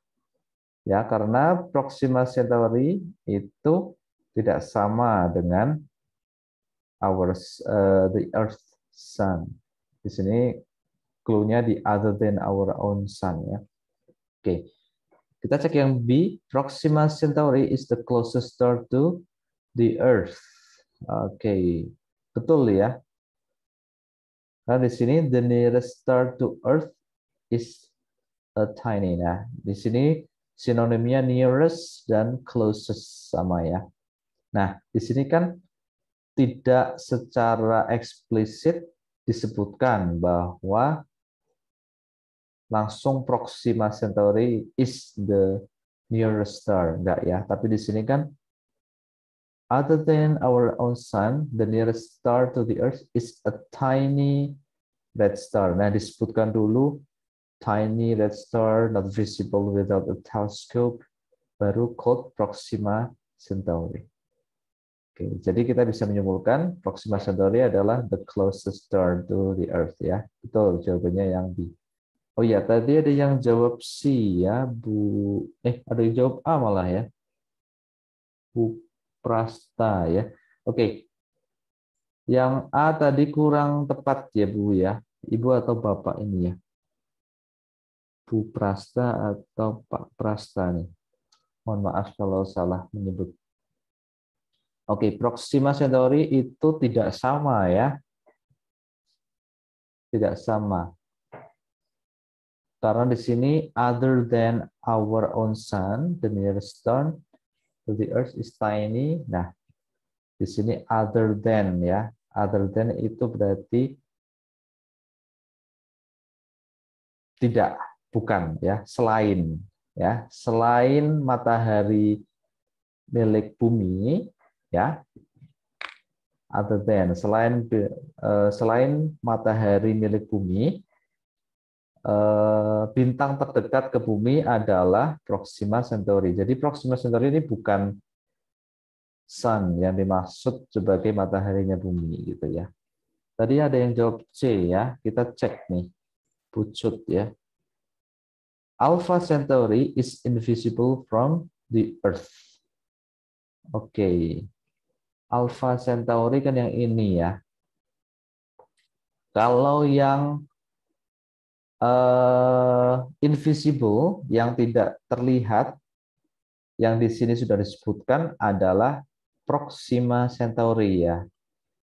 Jadi yang not visible without telescope itu Proxima Centauri.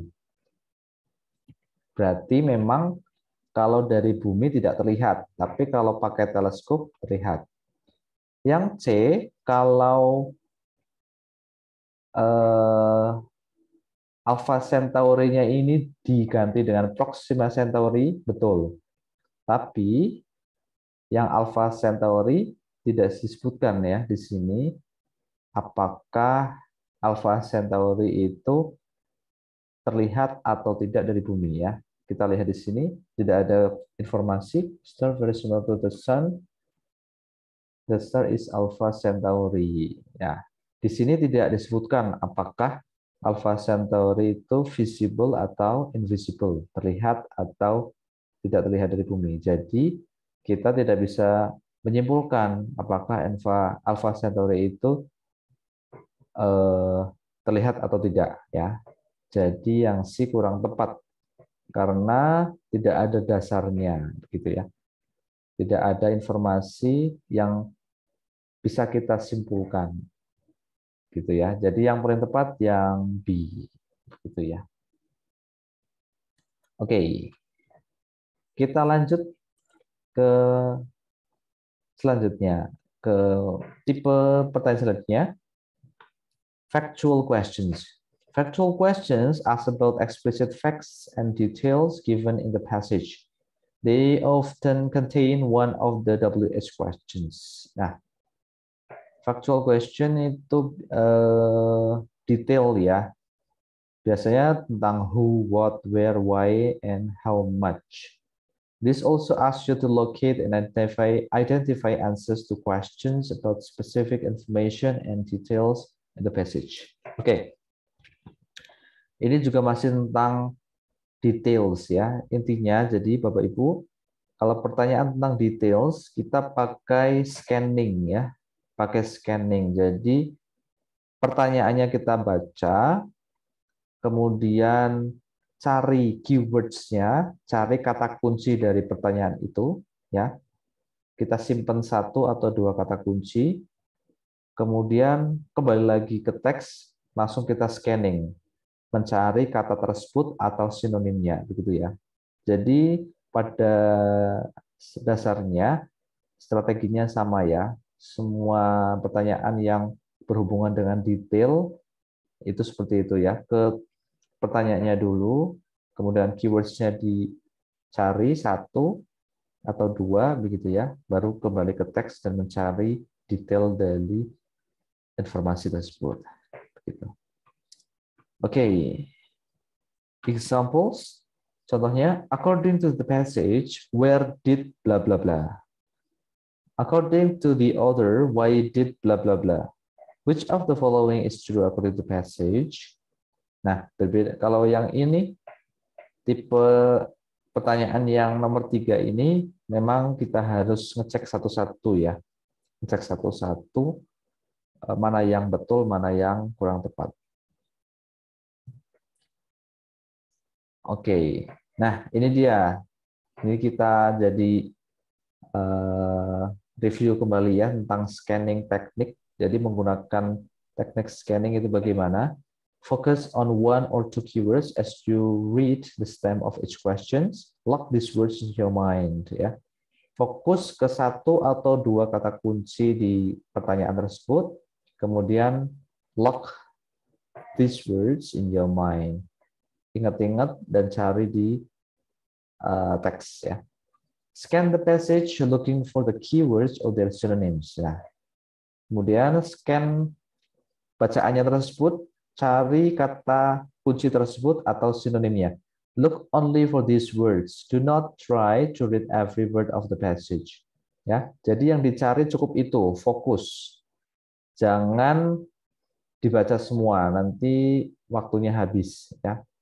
When you find the keywords, the passage, carefully read the sentence in which they occur.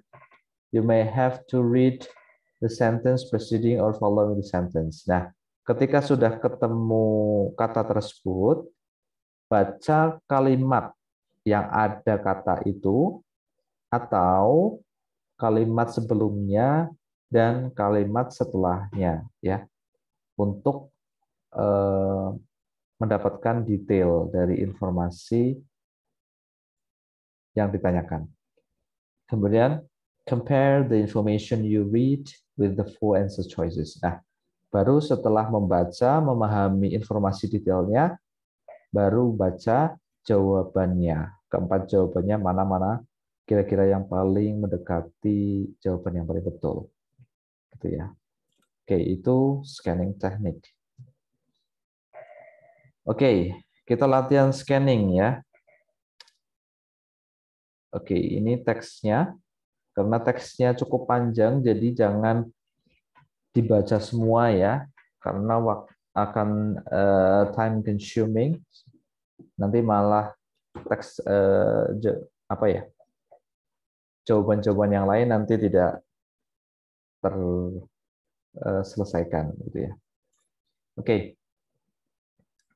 How do deer, contohnya number one, how do deer primarily use their antlers? Oke, ini tentang antlers. Berarti keywordsnya adalah antlers. Langsung uh, scan ya bacaan ini. Antlers grow from permanent knob-like bones under the skull. Leaves the antlers briefly to fight. Mm -hmm. Oke. Okay. Di sini fokusnya adalah how do deer primarily use. Berarti use-nya ya. Use antlers-nya itu untuk apa? Nah, di sini ya. Di sini keywords-nya ada use, ada antlers. Berarti deer use their antlers chiefly to fight. Oke, okay, berarti how do deer primarily use their antlers ada di line kedua, tiga. Kemudian number two in what way are reindeer and caribou different from other types of deer?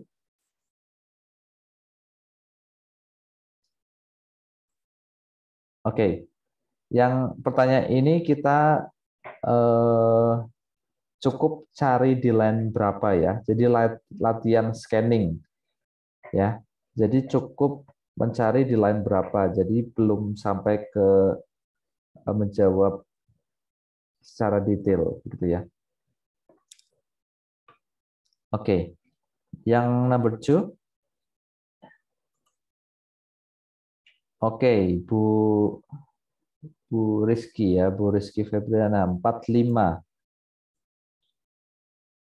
Di sini berarti keywordsnya adalah reindeer dan caribou ya reindeer dan caribou. Kita scan.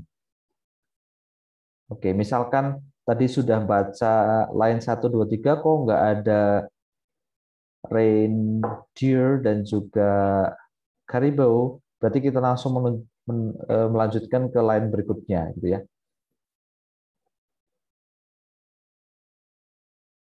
Oke, betul di sini ya. Di line keempat, but both male and female reindeer and caribou have antlers.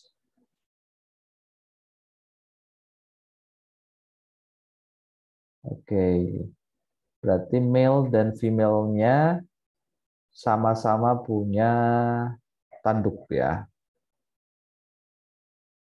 Oke, okay. berarti di paragraf eh di line 45 betul.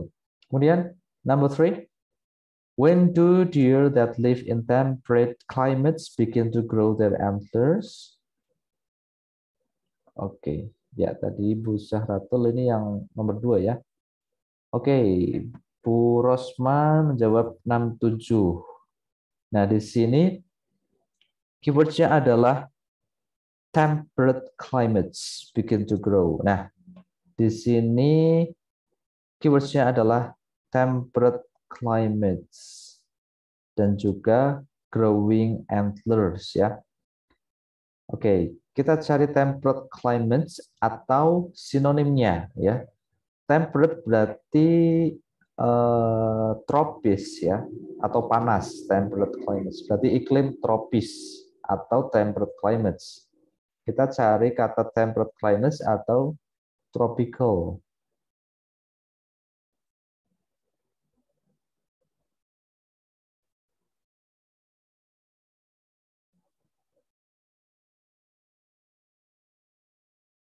Nah, ini dia ya.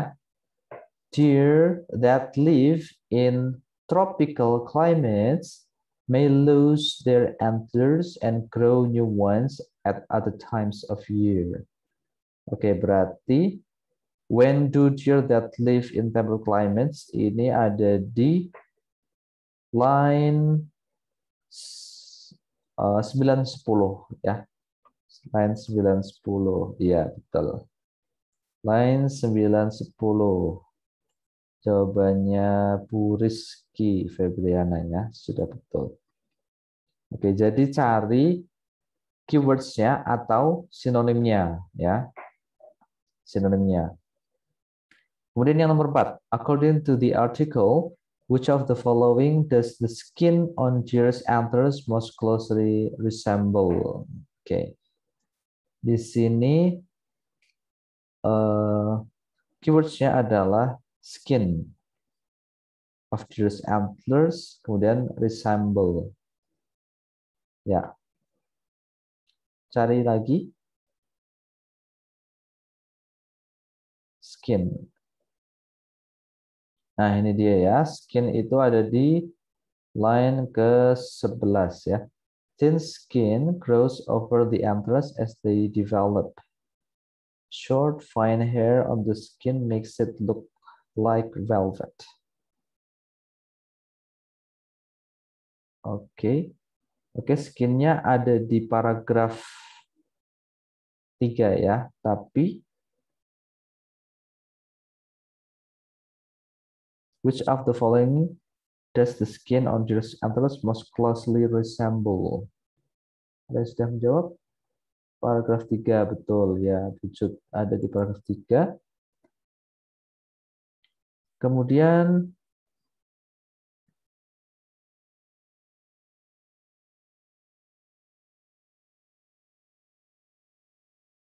Oke, di sini intinya ada di resemble ya. Resemble apa ya? Ada yang tahu nggak? Resemble. Oke, saya juga agak lupa nih artinya resemble kita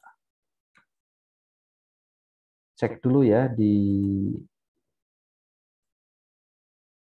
mirip. Oke mirip ya wujud ya.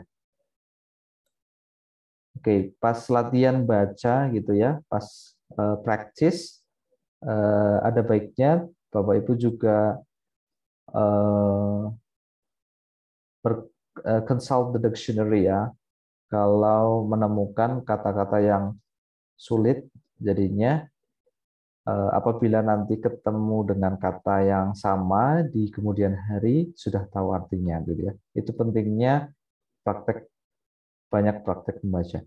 Oke, tadi resemble itu mirip, menyerupai. Oke.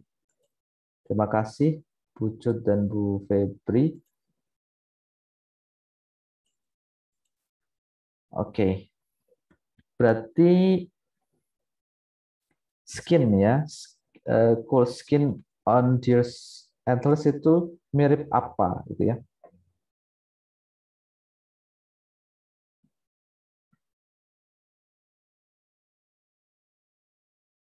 Alright, di sini di line tadi ada yang sudah menjawab line berapa?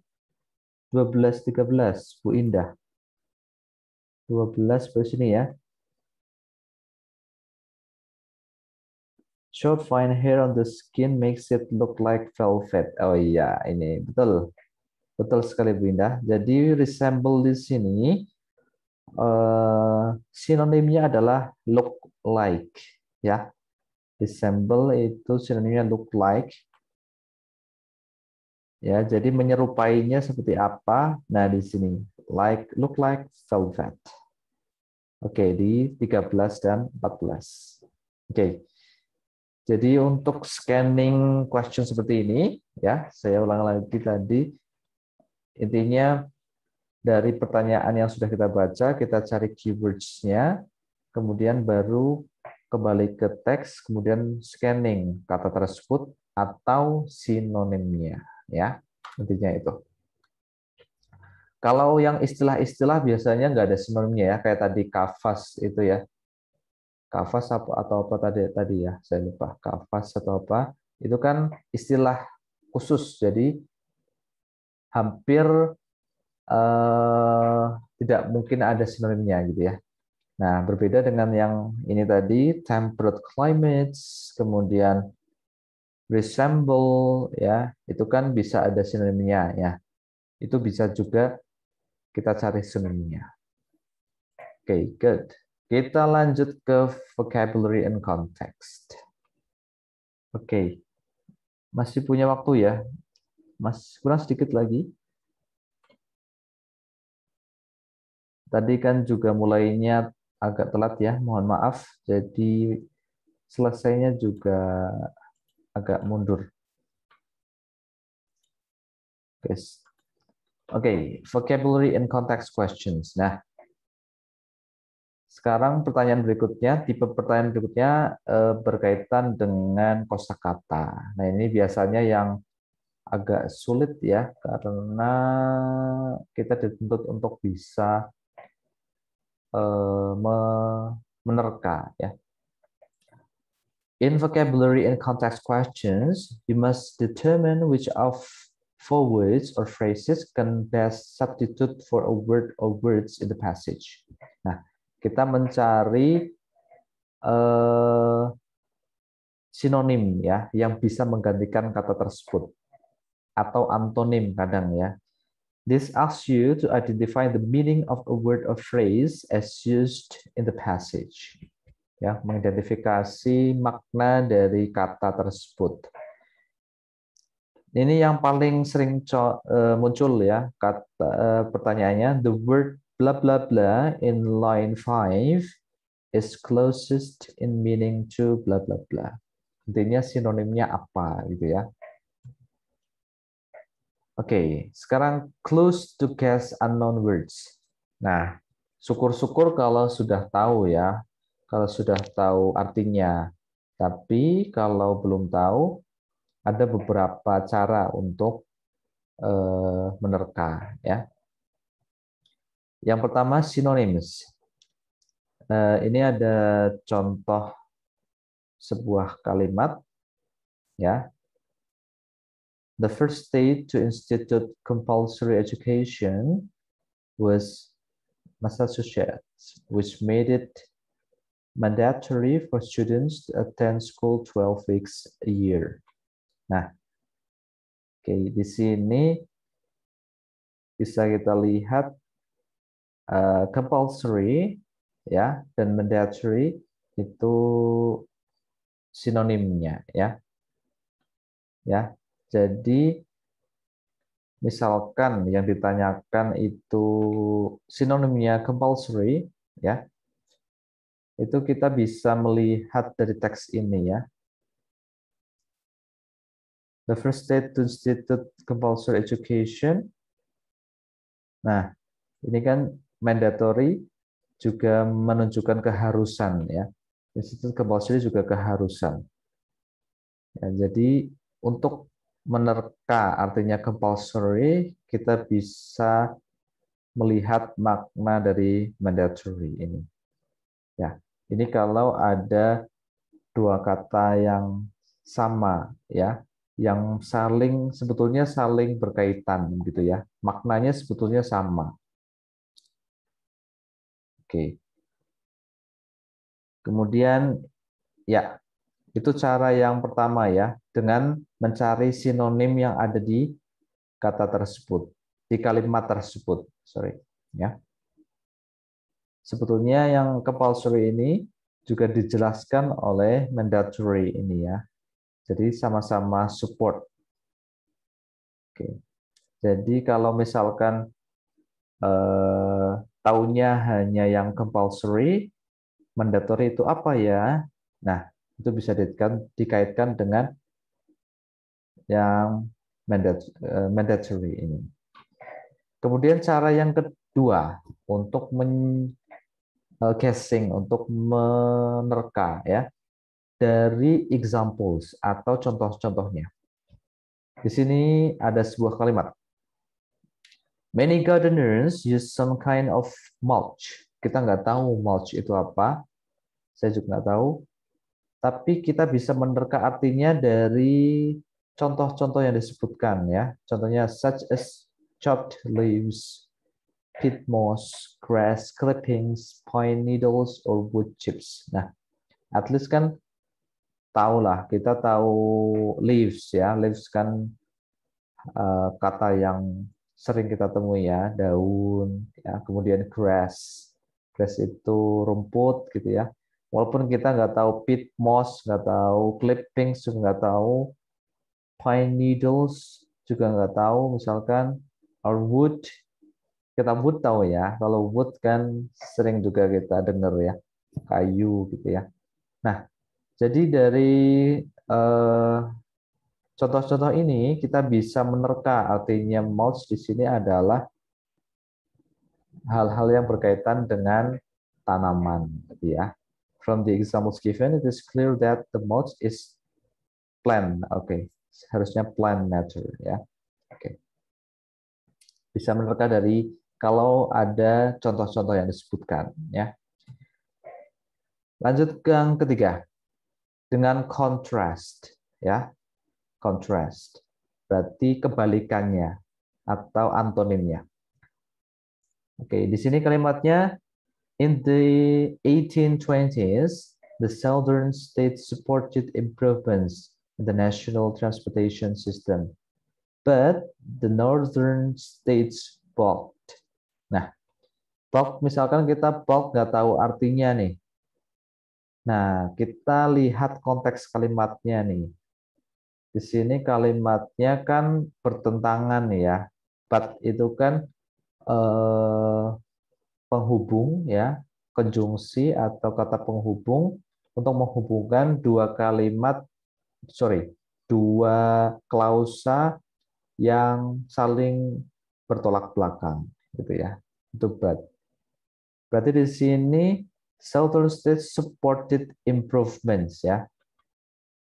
Berarti intinya yang Southern States itu supported improvement, tapi Northern States bulk. Berarti lawannya bulk berarti intinya bulk itu lawannya supported improvement ya. Berarti bisa objected, keberatan atau refused, menolak gitu ya. Itu juga bisa untuk menerka artinya. Arti dari bulk. Oke, kita lanjut dari general context ya general context. Saya uh, di sini ada kalimat in a desert vegetation is so scanty as to be incapable of supporting any large human population. Oke, misal kita nggak tahu artinya scanty. Nah, kita bisa menerka dari konteksnya nih. Ini lagi ngomongin tentang desert ya. Desert itu gurun ya. Di gurun berarti vegetation itu atau tanaman-tanaman berarti kan kalau di desert itu jarang ya, jarang. Tanaman itu jarang. Makanya karena tanamannya jarang, desert itu atau gurun itu tidak bisa untuk mensupport atau mendukung uh, populasi manusia yang banyak, ya. Nah, dari konteks ini kita bisa menerka kalau scanty ini artinya adalah scarce atau jarang or barely sufficient ya atau sangat kurang ya barely sufficient sangat kurang oke itu cara yang ketiga ya untuk menerka artinya. Oke. Sekarang silahkan Bapak Ibu bisa membaca secara jelas. Kalau eh, apalagi untuk pertanyaan seperti ini ya, tidak perlu untuk membaca seluruhnya ya, langsung biasanya kan sudah dikasih info ya di line berapa ya. The phrase at a premium in line 2 is closest in meaning to. Berarti kita cukup langsung menuju ke line 2 Kemudian baca whole sentence-nya ya. Untuk me, apa ya? Untuk memahami seluruh konteks kalimatnya, kita harus membaca seluruh kalimatnya ya. Walaupun di sini sudah disebutkan lainnya. In Britain's North American colonies, university-trained physicians were at a premium. At the time of the revolution, there were probably only mm -mm. Oke, okay. di sini at a premium. Kita harus menerka nih artinya apa. Ada yang tahu? Oke, okay. ada yang menjawab A, Bu Soraya ya. Yang lain B, ada Bu Indah dan Pak Sultan. Oke, ada yang A, ada yang B. Oke, premium ya. Kalau premium sebetulnya eh, juga sudah lumayan apa ya? Sudah lumayan eh, sering kita dengar ya, mobil premium misalkan ya atau kelas premium gitu ya. Premium itu berarti di atas yang biasa gitu ya, di atas yang biasa. Oke. Okay. Well paid atau not very numerous. Oke, okay. numerous itu uh, not very numerous. Numerous itu banyak sekali gitu ya, banyak sekali. Di sini kita lihat Contohnya, university trained physicians were at a premium. At the time of the revolution, there were probably only around 400 physicians who had on-the-job training as a barber surgeon or physician's apprentice. Or not? Okay. All right. Oke, okay. kira-kira yang paling mendekati, yang paling masuk akal ya? Nah, jawabannya adalah yang A ya, yang well paid. Ya. Kalau kalau not very numerous sepertinya kurang pas ya. Karena di sini kan university trained ya.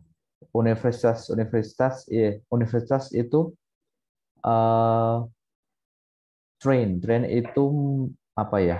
Melatih ya, melatih ahli-ahli uh, physicians ya, ahli-ahli fisika itu itu were at a premium ya. Jadi kalau dimasukkan kata not very numerous kayaknya kurang pas ya. Jadi yang paling pas adalah yang well paid ya yang dibayar dengan baik gitu ya. Oke, jadi salah satu caranya juga seperti itu ya. Kita bisa eh, coba memasukkan kalimat kata-kata ini untuk menggantikan kata premium. Kira-kira yang paling masuk, yang paling eh, sesuai yang mana gitu ya. Lah, kok A ya? Oke, okay, ya. Ya, Pak. Oh, ada yang jawab C juga ya, Bu Rizky. Very experienced. At a premium, very experienced. Sangat apa? Eh, berpengalaman ya. Coba gitu, kalau very experience kalau dimasukkan kira-kira pasti ya. University trained physicians were at a premium. At the time of the revolution, there were probably only around 400 physicians had on the job training.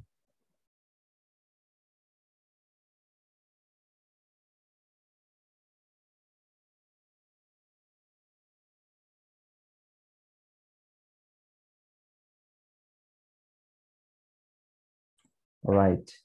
Ya. Yang paling masuk yang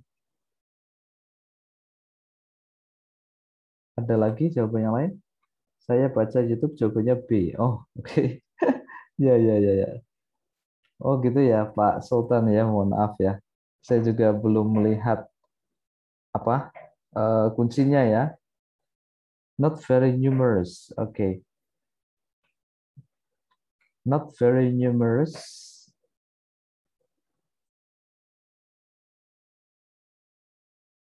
Alright. Oh ya ya ya ya. Oke, okay. ya ya. Saya paham sekarang kenapa jawabannya not very numerous ya. Oke, okay. uh, mohon maaf. Di sini ya di sini saya baru sadar ada kata at the time of the revolution there were probably only ya there were probably only around. Di sini disebutkan hanya mungkin ada ya. Di sini ada only ya hanya. Hanya 400 physicians dan beberapa 3000 praktisi ya nah makanya yang at a premium itu sinonimnya adalah yang not very numerous ya, tidak terlalu banyak. Oke, saya baru paham. Terima kasih banyak Pak Sultan ya, Pak Sultan Sahala. Oke. Ya, thank you so much for uh, reminding me ya. Betul, yang paling betul yang B ya. Kalau well paid uh, memang ini ya apa kalau dibaca kalimat-kalimat berikutnya tidak ada yang membahas tentang salary ya, salary ataupun eh, apa? gaji ya, gaji. Jadi yang paling tepat B betul ya, very numerous sorry. Oke, terima kasih Pak Sultan. Oke, bayangan saya tadi kalau premium itu yang pokoknya yang apa ya? Yang menengah ke atas begitu ya. Tapi ternyata tidak kata dari sebuah eh makna dari sebuah kata itu tidak selalu eh, apalagi yang premium makna premium di bahasa Indonesia ya itu bisa jadi eh, berbeda dengan makna yang ada di bahasa Inggris gitu ya oke okay. Eh, kita lanjut ke selanjutnya. Sekarang yang terakhir ini ya. Yang terakhir yang paling gampang adalah reference questions. Ya. Reference questions as what noun, called reference, a pronoun, or some other expressions refers to. Ya.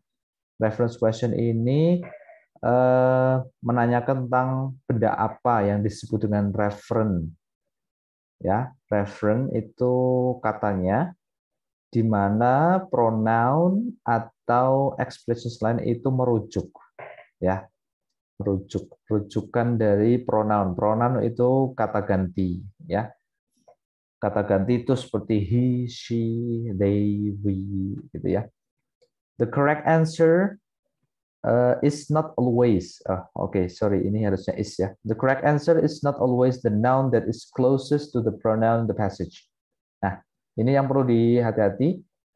Jawaban yang betul itu tidak selalu benda yang paling dekat dengan pronoun tersebut. Ya, jadi tidak selalu yang paling dekat. Kita harus baca juga, eh, pahami dan uh, tahu konteksnya sehingga dapat menentukan uh, pronoun tersebut itu reverse-nya ke mana. Incorrect choices are usually other nouns that appear the passage. Uh, jawaban-jawaban yang salah biasanya itu benda-benda yang lain yang muncul di teks tersebut ya. If you are unable to decide immediately which answer is correct, substitute the four choices for the word that being asked about. Which one is the most logical substitute? Ya. Jika tidak bisa menentukan jawaban mana yang betul, substitute uh, ganti ya. Ganti uh, masukkan masing-masing pilihan tersebut ke pronoun tersebut ya, ke pronounnya dan mana yang paling masuk akal. Ya, dicoba semuanya berarti eh, keempat-empat jawabannya. In general, reference questions tend to be the easiest type of reading questions. Ya. Ini salah satu jawaban, eh sorry, salah satu soal yang paling gampang di dalam reading questions. Oke, okay. ini ya contohnya. Jadi kalau eh, Bapak Ibu nanti ketemu soal-soal seperti ini, ini Eh, soal yang paling gampang ya, jadi jangan sampai salah. Uh, Oke, okay. contohnya the word day in line 4 refers to line 4, berarti kita langsung menuju ke line 4. Nah, day-nya nih, day-nya itu siapa? Untuk tahu day-nya siapa, kita baca kalimat satu kalimat itu semuanya ya. Satu kalimat di mana pronoun itu ada. Berarti di sini berarti kalimatnya mulai dari when small ya.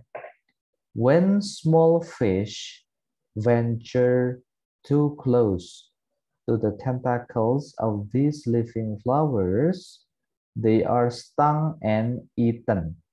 Oke, okay, they-nya ini siapa? Sudah ada yang jawab? Oke, okay, jawabannya B ya. Sudah jawab B, B, B. Oke. Okay. Nah, jangan keliru. Day-nya itu bukan living flowers ya. Walaupun living flowers ini yang paling dekat dengan day, tapi day-nya itu refernya bukan flowers tapi small fish. Betul, jawabannya B. Ya, jadi kita pahami day-nya they are stung and eaten. Mereka akan uh, tersengat dan juga dimakan. Day-nya itu berarti bukan flowers-nya tapi fish-nya, gitu ya. Jadi kita harus pahami maknanya sehingga kita bisa tahu day-nya itu uh, refer ke mana, pahami konteksnya ya. Jadi bukan benda yang paling dekat dengan pronoun ini, tapi kita harus tahu konteksnya. Oke, baik Bapak Ibu, uh, I think that's uh, all the types of questions ya. Jadi itu ya mungkin uh, sejauh yang saya pelajari di uh, buku panduan TOEFL di bantuan reading skills di dalam bahasa Inggris khususnya itulah tipe-tipe soal yang ada ya yang muncul di uh, reading passage ya. Semoga Eh, apa yang bisa apa yang sudah kita pelajari nanti bermanfaat saat Bapak Ibu semua mengerjakan SKB ya, tes SKB. Jadi ini tipe-tipe soal seperti ini sebetulnya general ya. Jadi apa yang saya sampaikan tadi mulai dari uh, strateginya dari scanning uh, scanning teknik, kemudian cara mencari main idea, kemudian tipe-tipe soalnya tadi reference questions, eh, kemudian factual questions ya, kemudian apalagi tadi? Negatif itu general ya, jadi berlaku untuk semua jenis teks ya. Entah itu nanti yang muncul teks berita, teks tentang uh, artikel penelitian, ya ataupun nanti tentang apa ya biasanya sering-seringnya eh, apa? Tentang ini ya eh, sains ya tentang sains gitu ya semuanya ini eh, applicable ya bisa berlaku di semua jenis teks jadi bapak ibu bisa pahami eh, tipe-tipe soal ini dan juga strategi untuk mengerjakannya. Baik, uh, I think that's all ya. Mohon maaf waktunya agak mundur karena tadi juga terkendala sinyal. Uh, lastly, is there any questions before uh, we end our meeting today?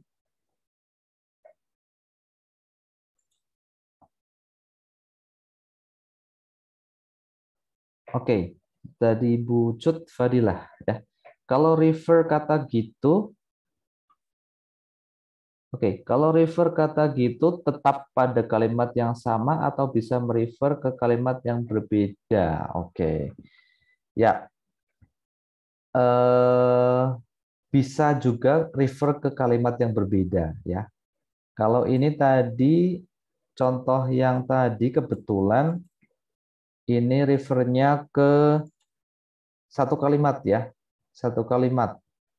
Ini masih satu kalimat ya. When small fish venture too close to the tentacles of these living flowers, they are. Tapi bisa juga refernya refer ke kata benda di kalimat sebelumnya ya. Di sini ada enggak ya? The name.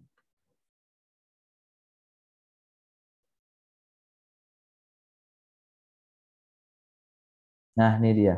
Oh, enggak, di. Ini masih satu kalimat ya. Oke, jadi jawabannya masih bisa ya, masih bi bisa juga refer ke kata benda yang sebelum di kalimat sebelumnya juga bisa. Oke. Saya coba carikan contohnya ya.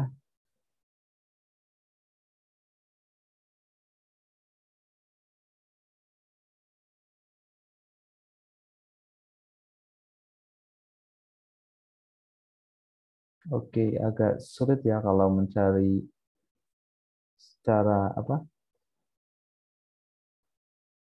Spontaneous ya. Oke, tapi bisa ya, intinya bisa ya.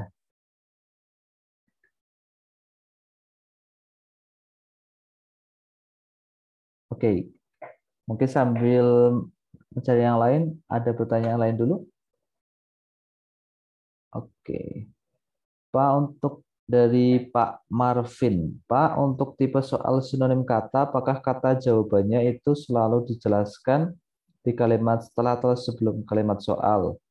Seperti di soal yang dibahas. Oke. Kalimat setelah kalimat soal. Oke. Sinonim ya. Oke, kalau sinonim eh, itu tidak selalu ya, tidak selalu dijelaskan di kalimat soal tersebut ya. Ya, jadi juga eh, ada kalanya juga kalau yang contoh tadi kan memang eh, ada clue-nya ya, ada clue-nya. Di sini misalkan tadi mulch itu clue-nya dengan contoh-contohnya gitu ya.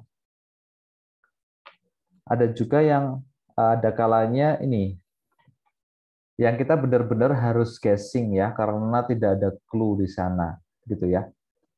Nah, salah satu caranya apabila saat menemui uh, vocabulary in context tadi ya, kata-kata apa soal tentang kosakata yang kita harus menerka artinya ya.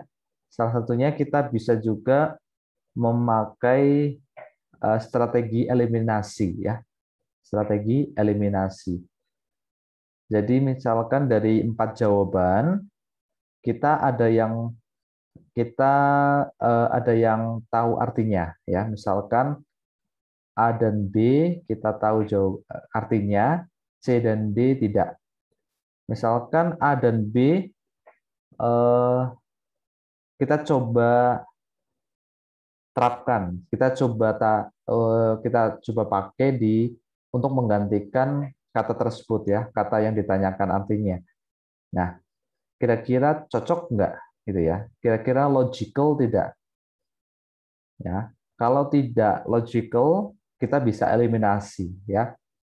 Bisa eliminasi. Jadi kata-kata yang sudah kita tahu artinya kita bisa eliminasi kalau diterapkan kok tidak cocok kita eliminasi. Dan eh, cara terakhir ya misalkan ada masih ada dua pilihan dan kita harus memilih ya mau nggak mau kita harus memilih salah satu begitu ya.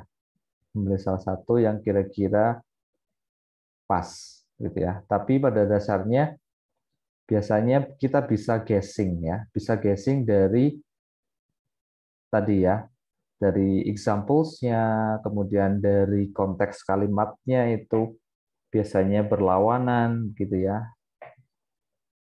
Dari general konteksnya juga bisa. Begitu ya. Oke. Itu Pak Marvin ya. Tandanya tandainya gimana ya, Kak? Oke. Ibu Cut Fadilah ya. Tadi masih refer ke kalimat yang sebelumnya ya. Oke. Eh, sorry. Masih refer ke pertanyaan sebelumnya. Ya, tandanya tuh uh, gini, misalkan saya punya kalimat sendiri ya. Saya punya saya bikin kalimat sendiri. Uh, Mr. eh sorry. Saya pinjam namanya ya. Pak Marvin ya. Mr. Marvin is an English ya. Uh, sorry. Mr. Marvin is an English lecturer in a state university in Jakarta misalnya ya. Pak Marvin adalah seorang dosen bahasa Inggris di salah satu uh, universitas negeri di Jakarta misalkan. Nah, habis itu kan saya mau pakai pronoun nih.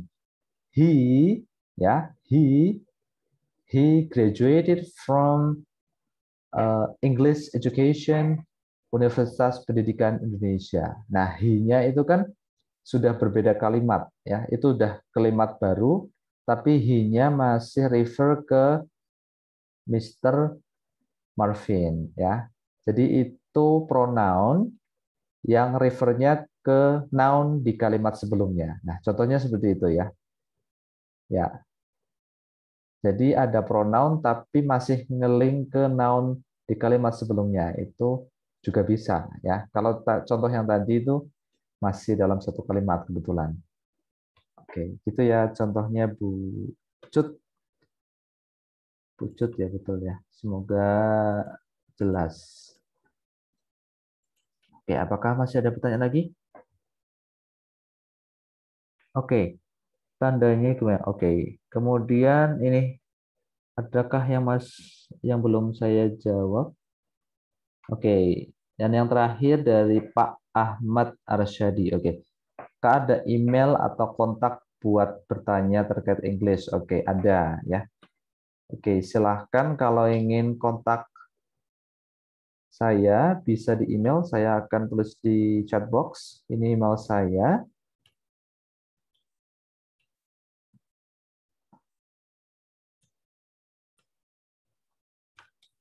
Oke. Ya, ini email saya dan ini WhatsApp saya 089762674699.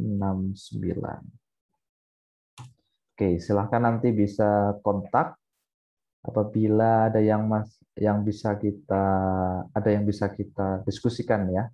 Saya juga masih tahap belajar jadi kita sama-sama belajar. Oke, Apakah masih ada pertanyaan lagi? Nanti, apa eh, karena waktunya mungkin sudah eh, lumayan sudah habis ya.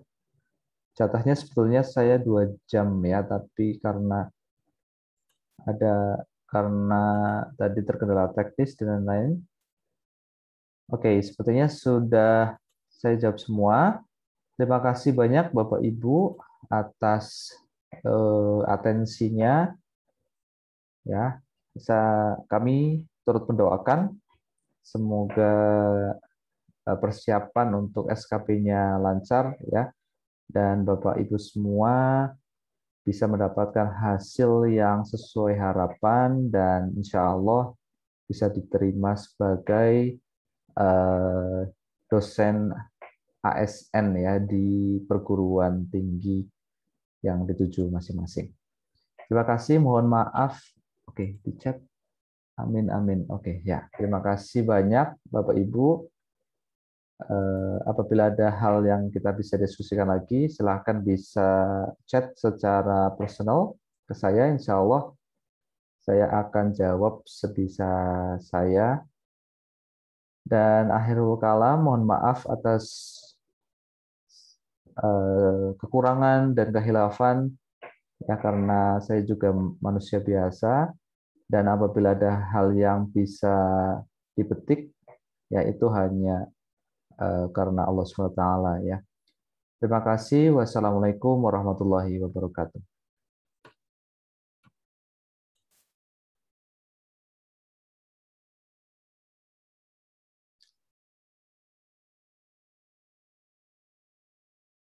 Terima kasih kembali Bu Cut Fadilah dan Bapak Ibu semua. Kami persilahkan untuk melanjutkan ke aktivitas selanjutnya.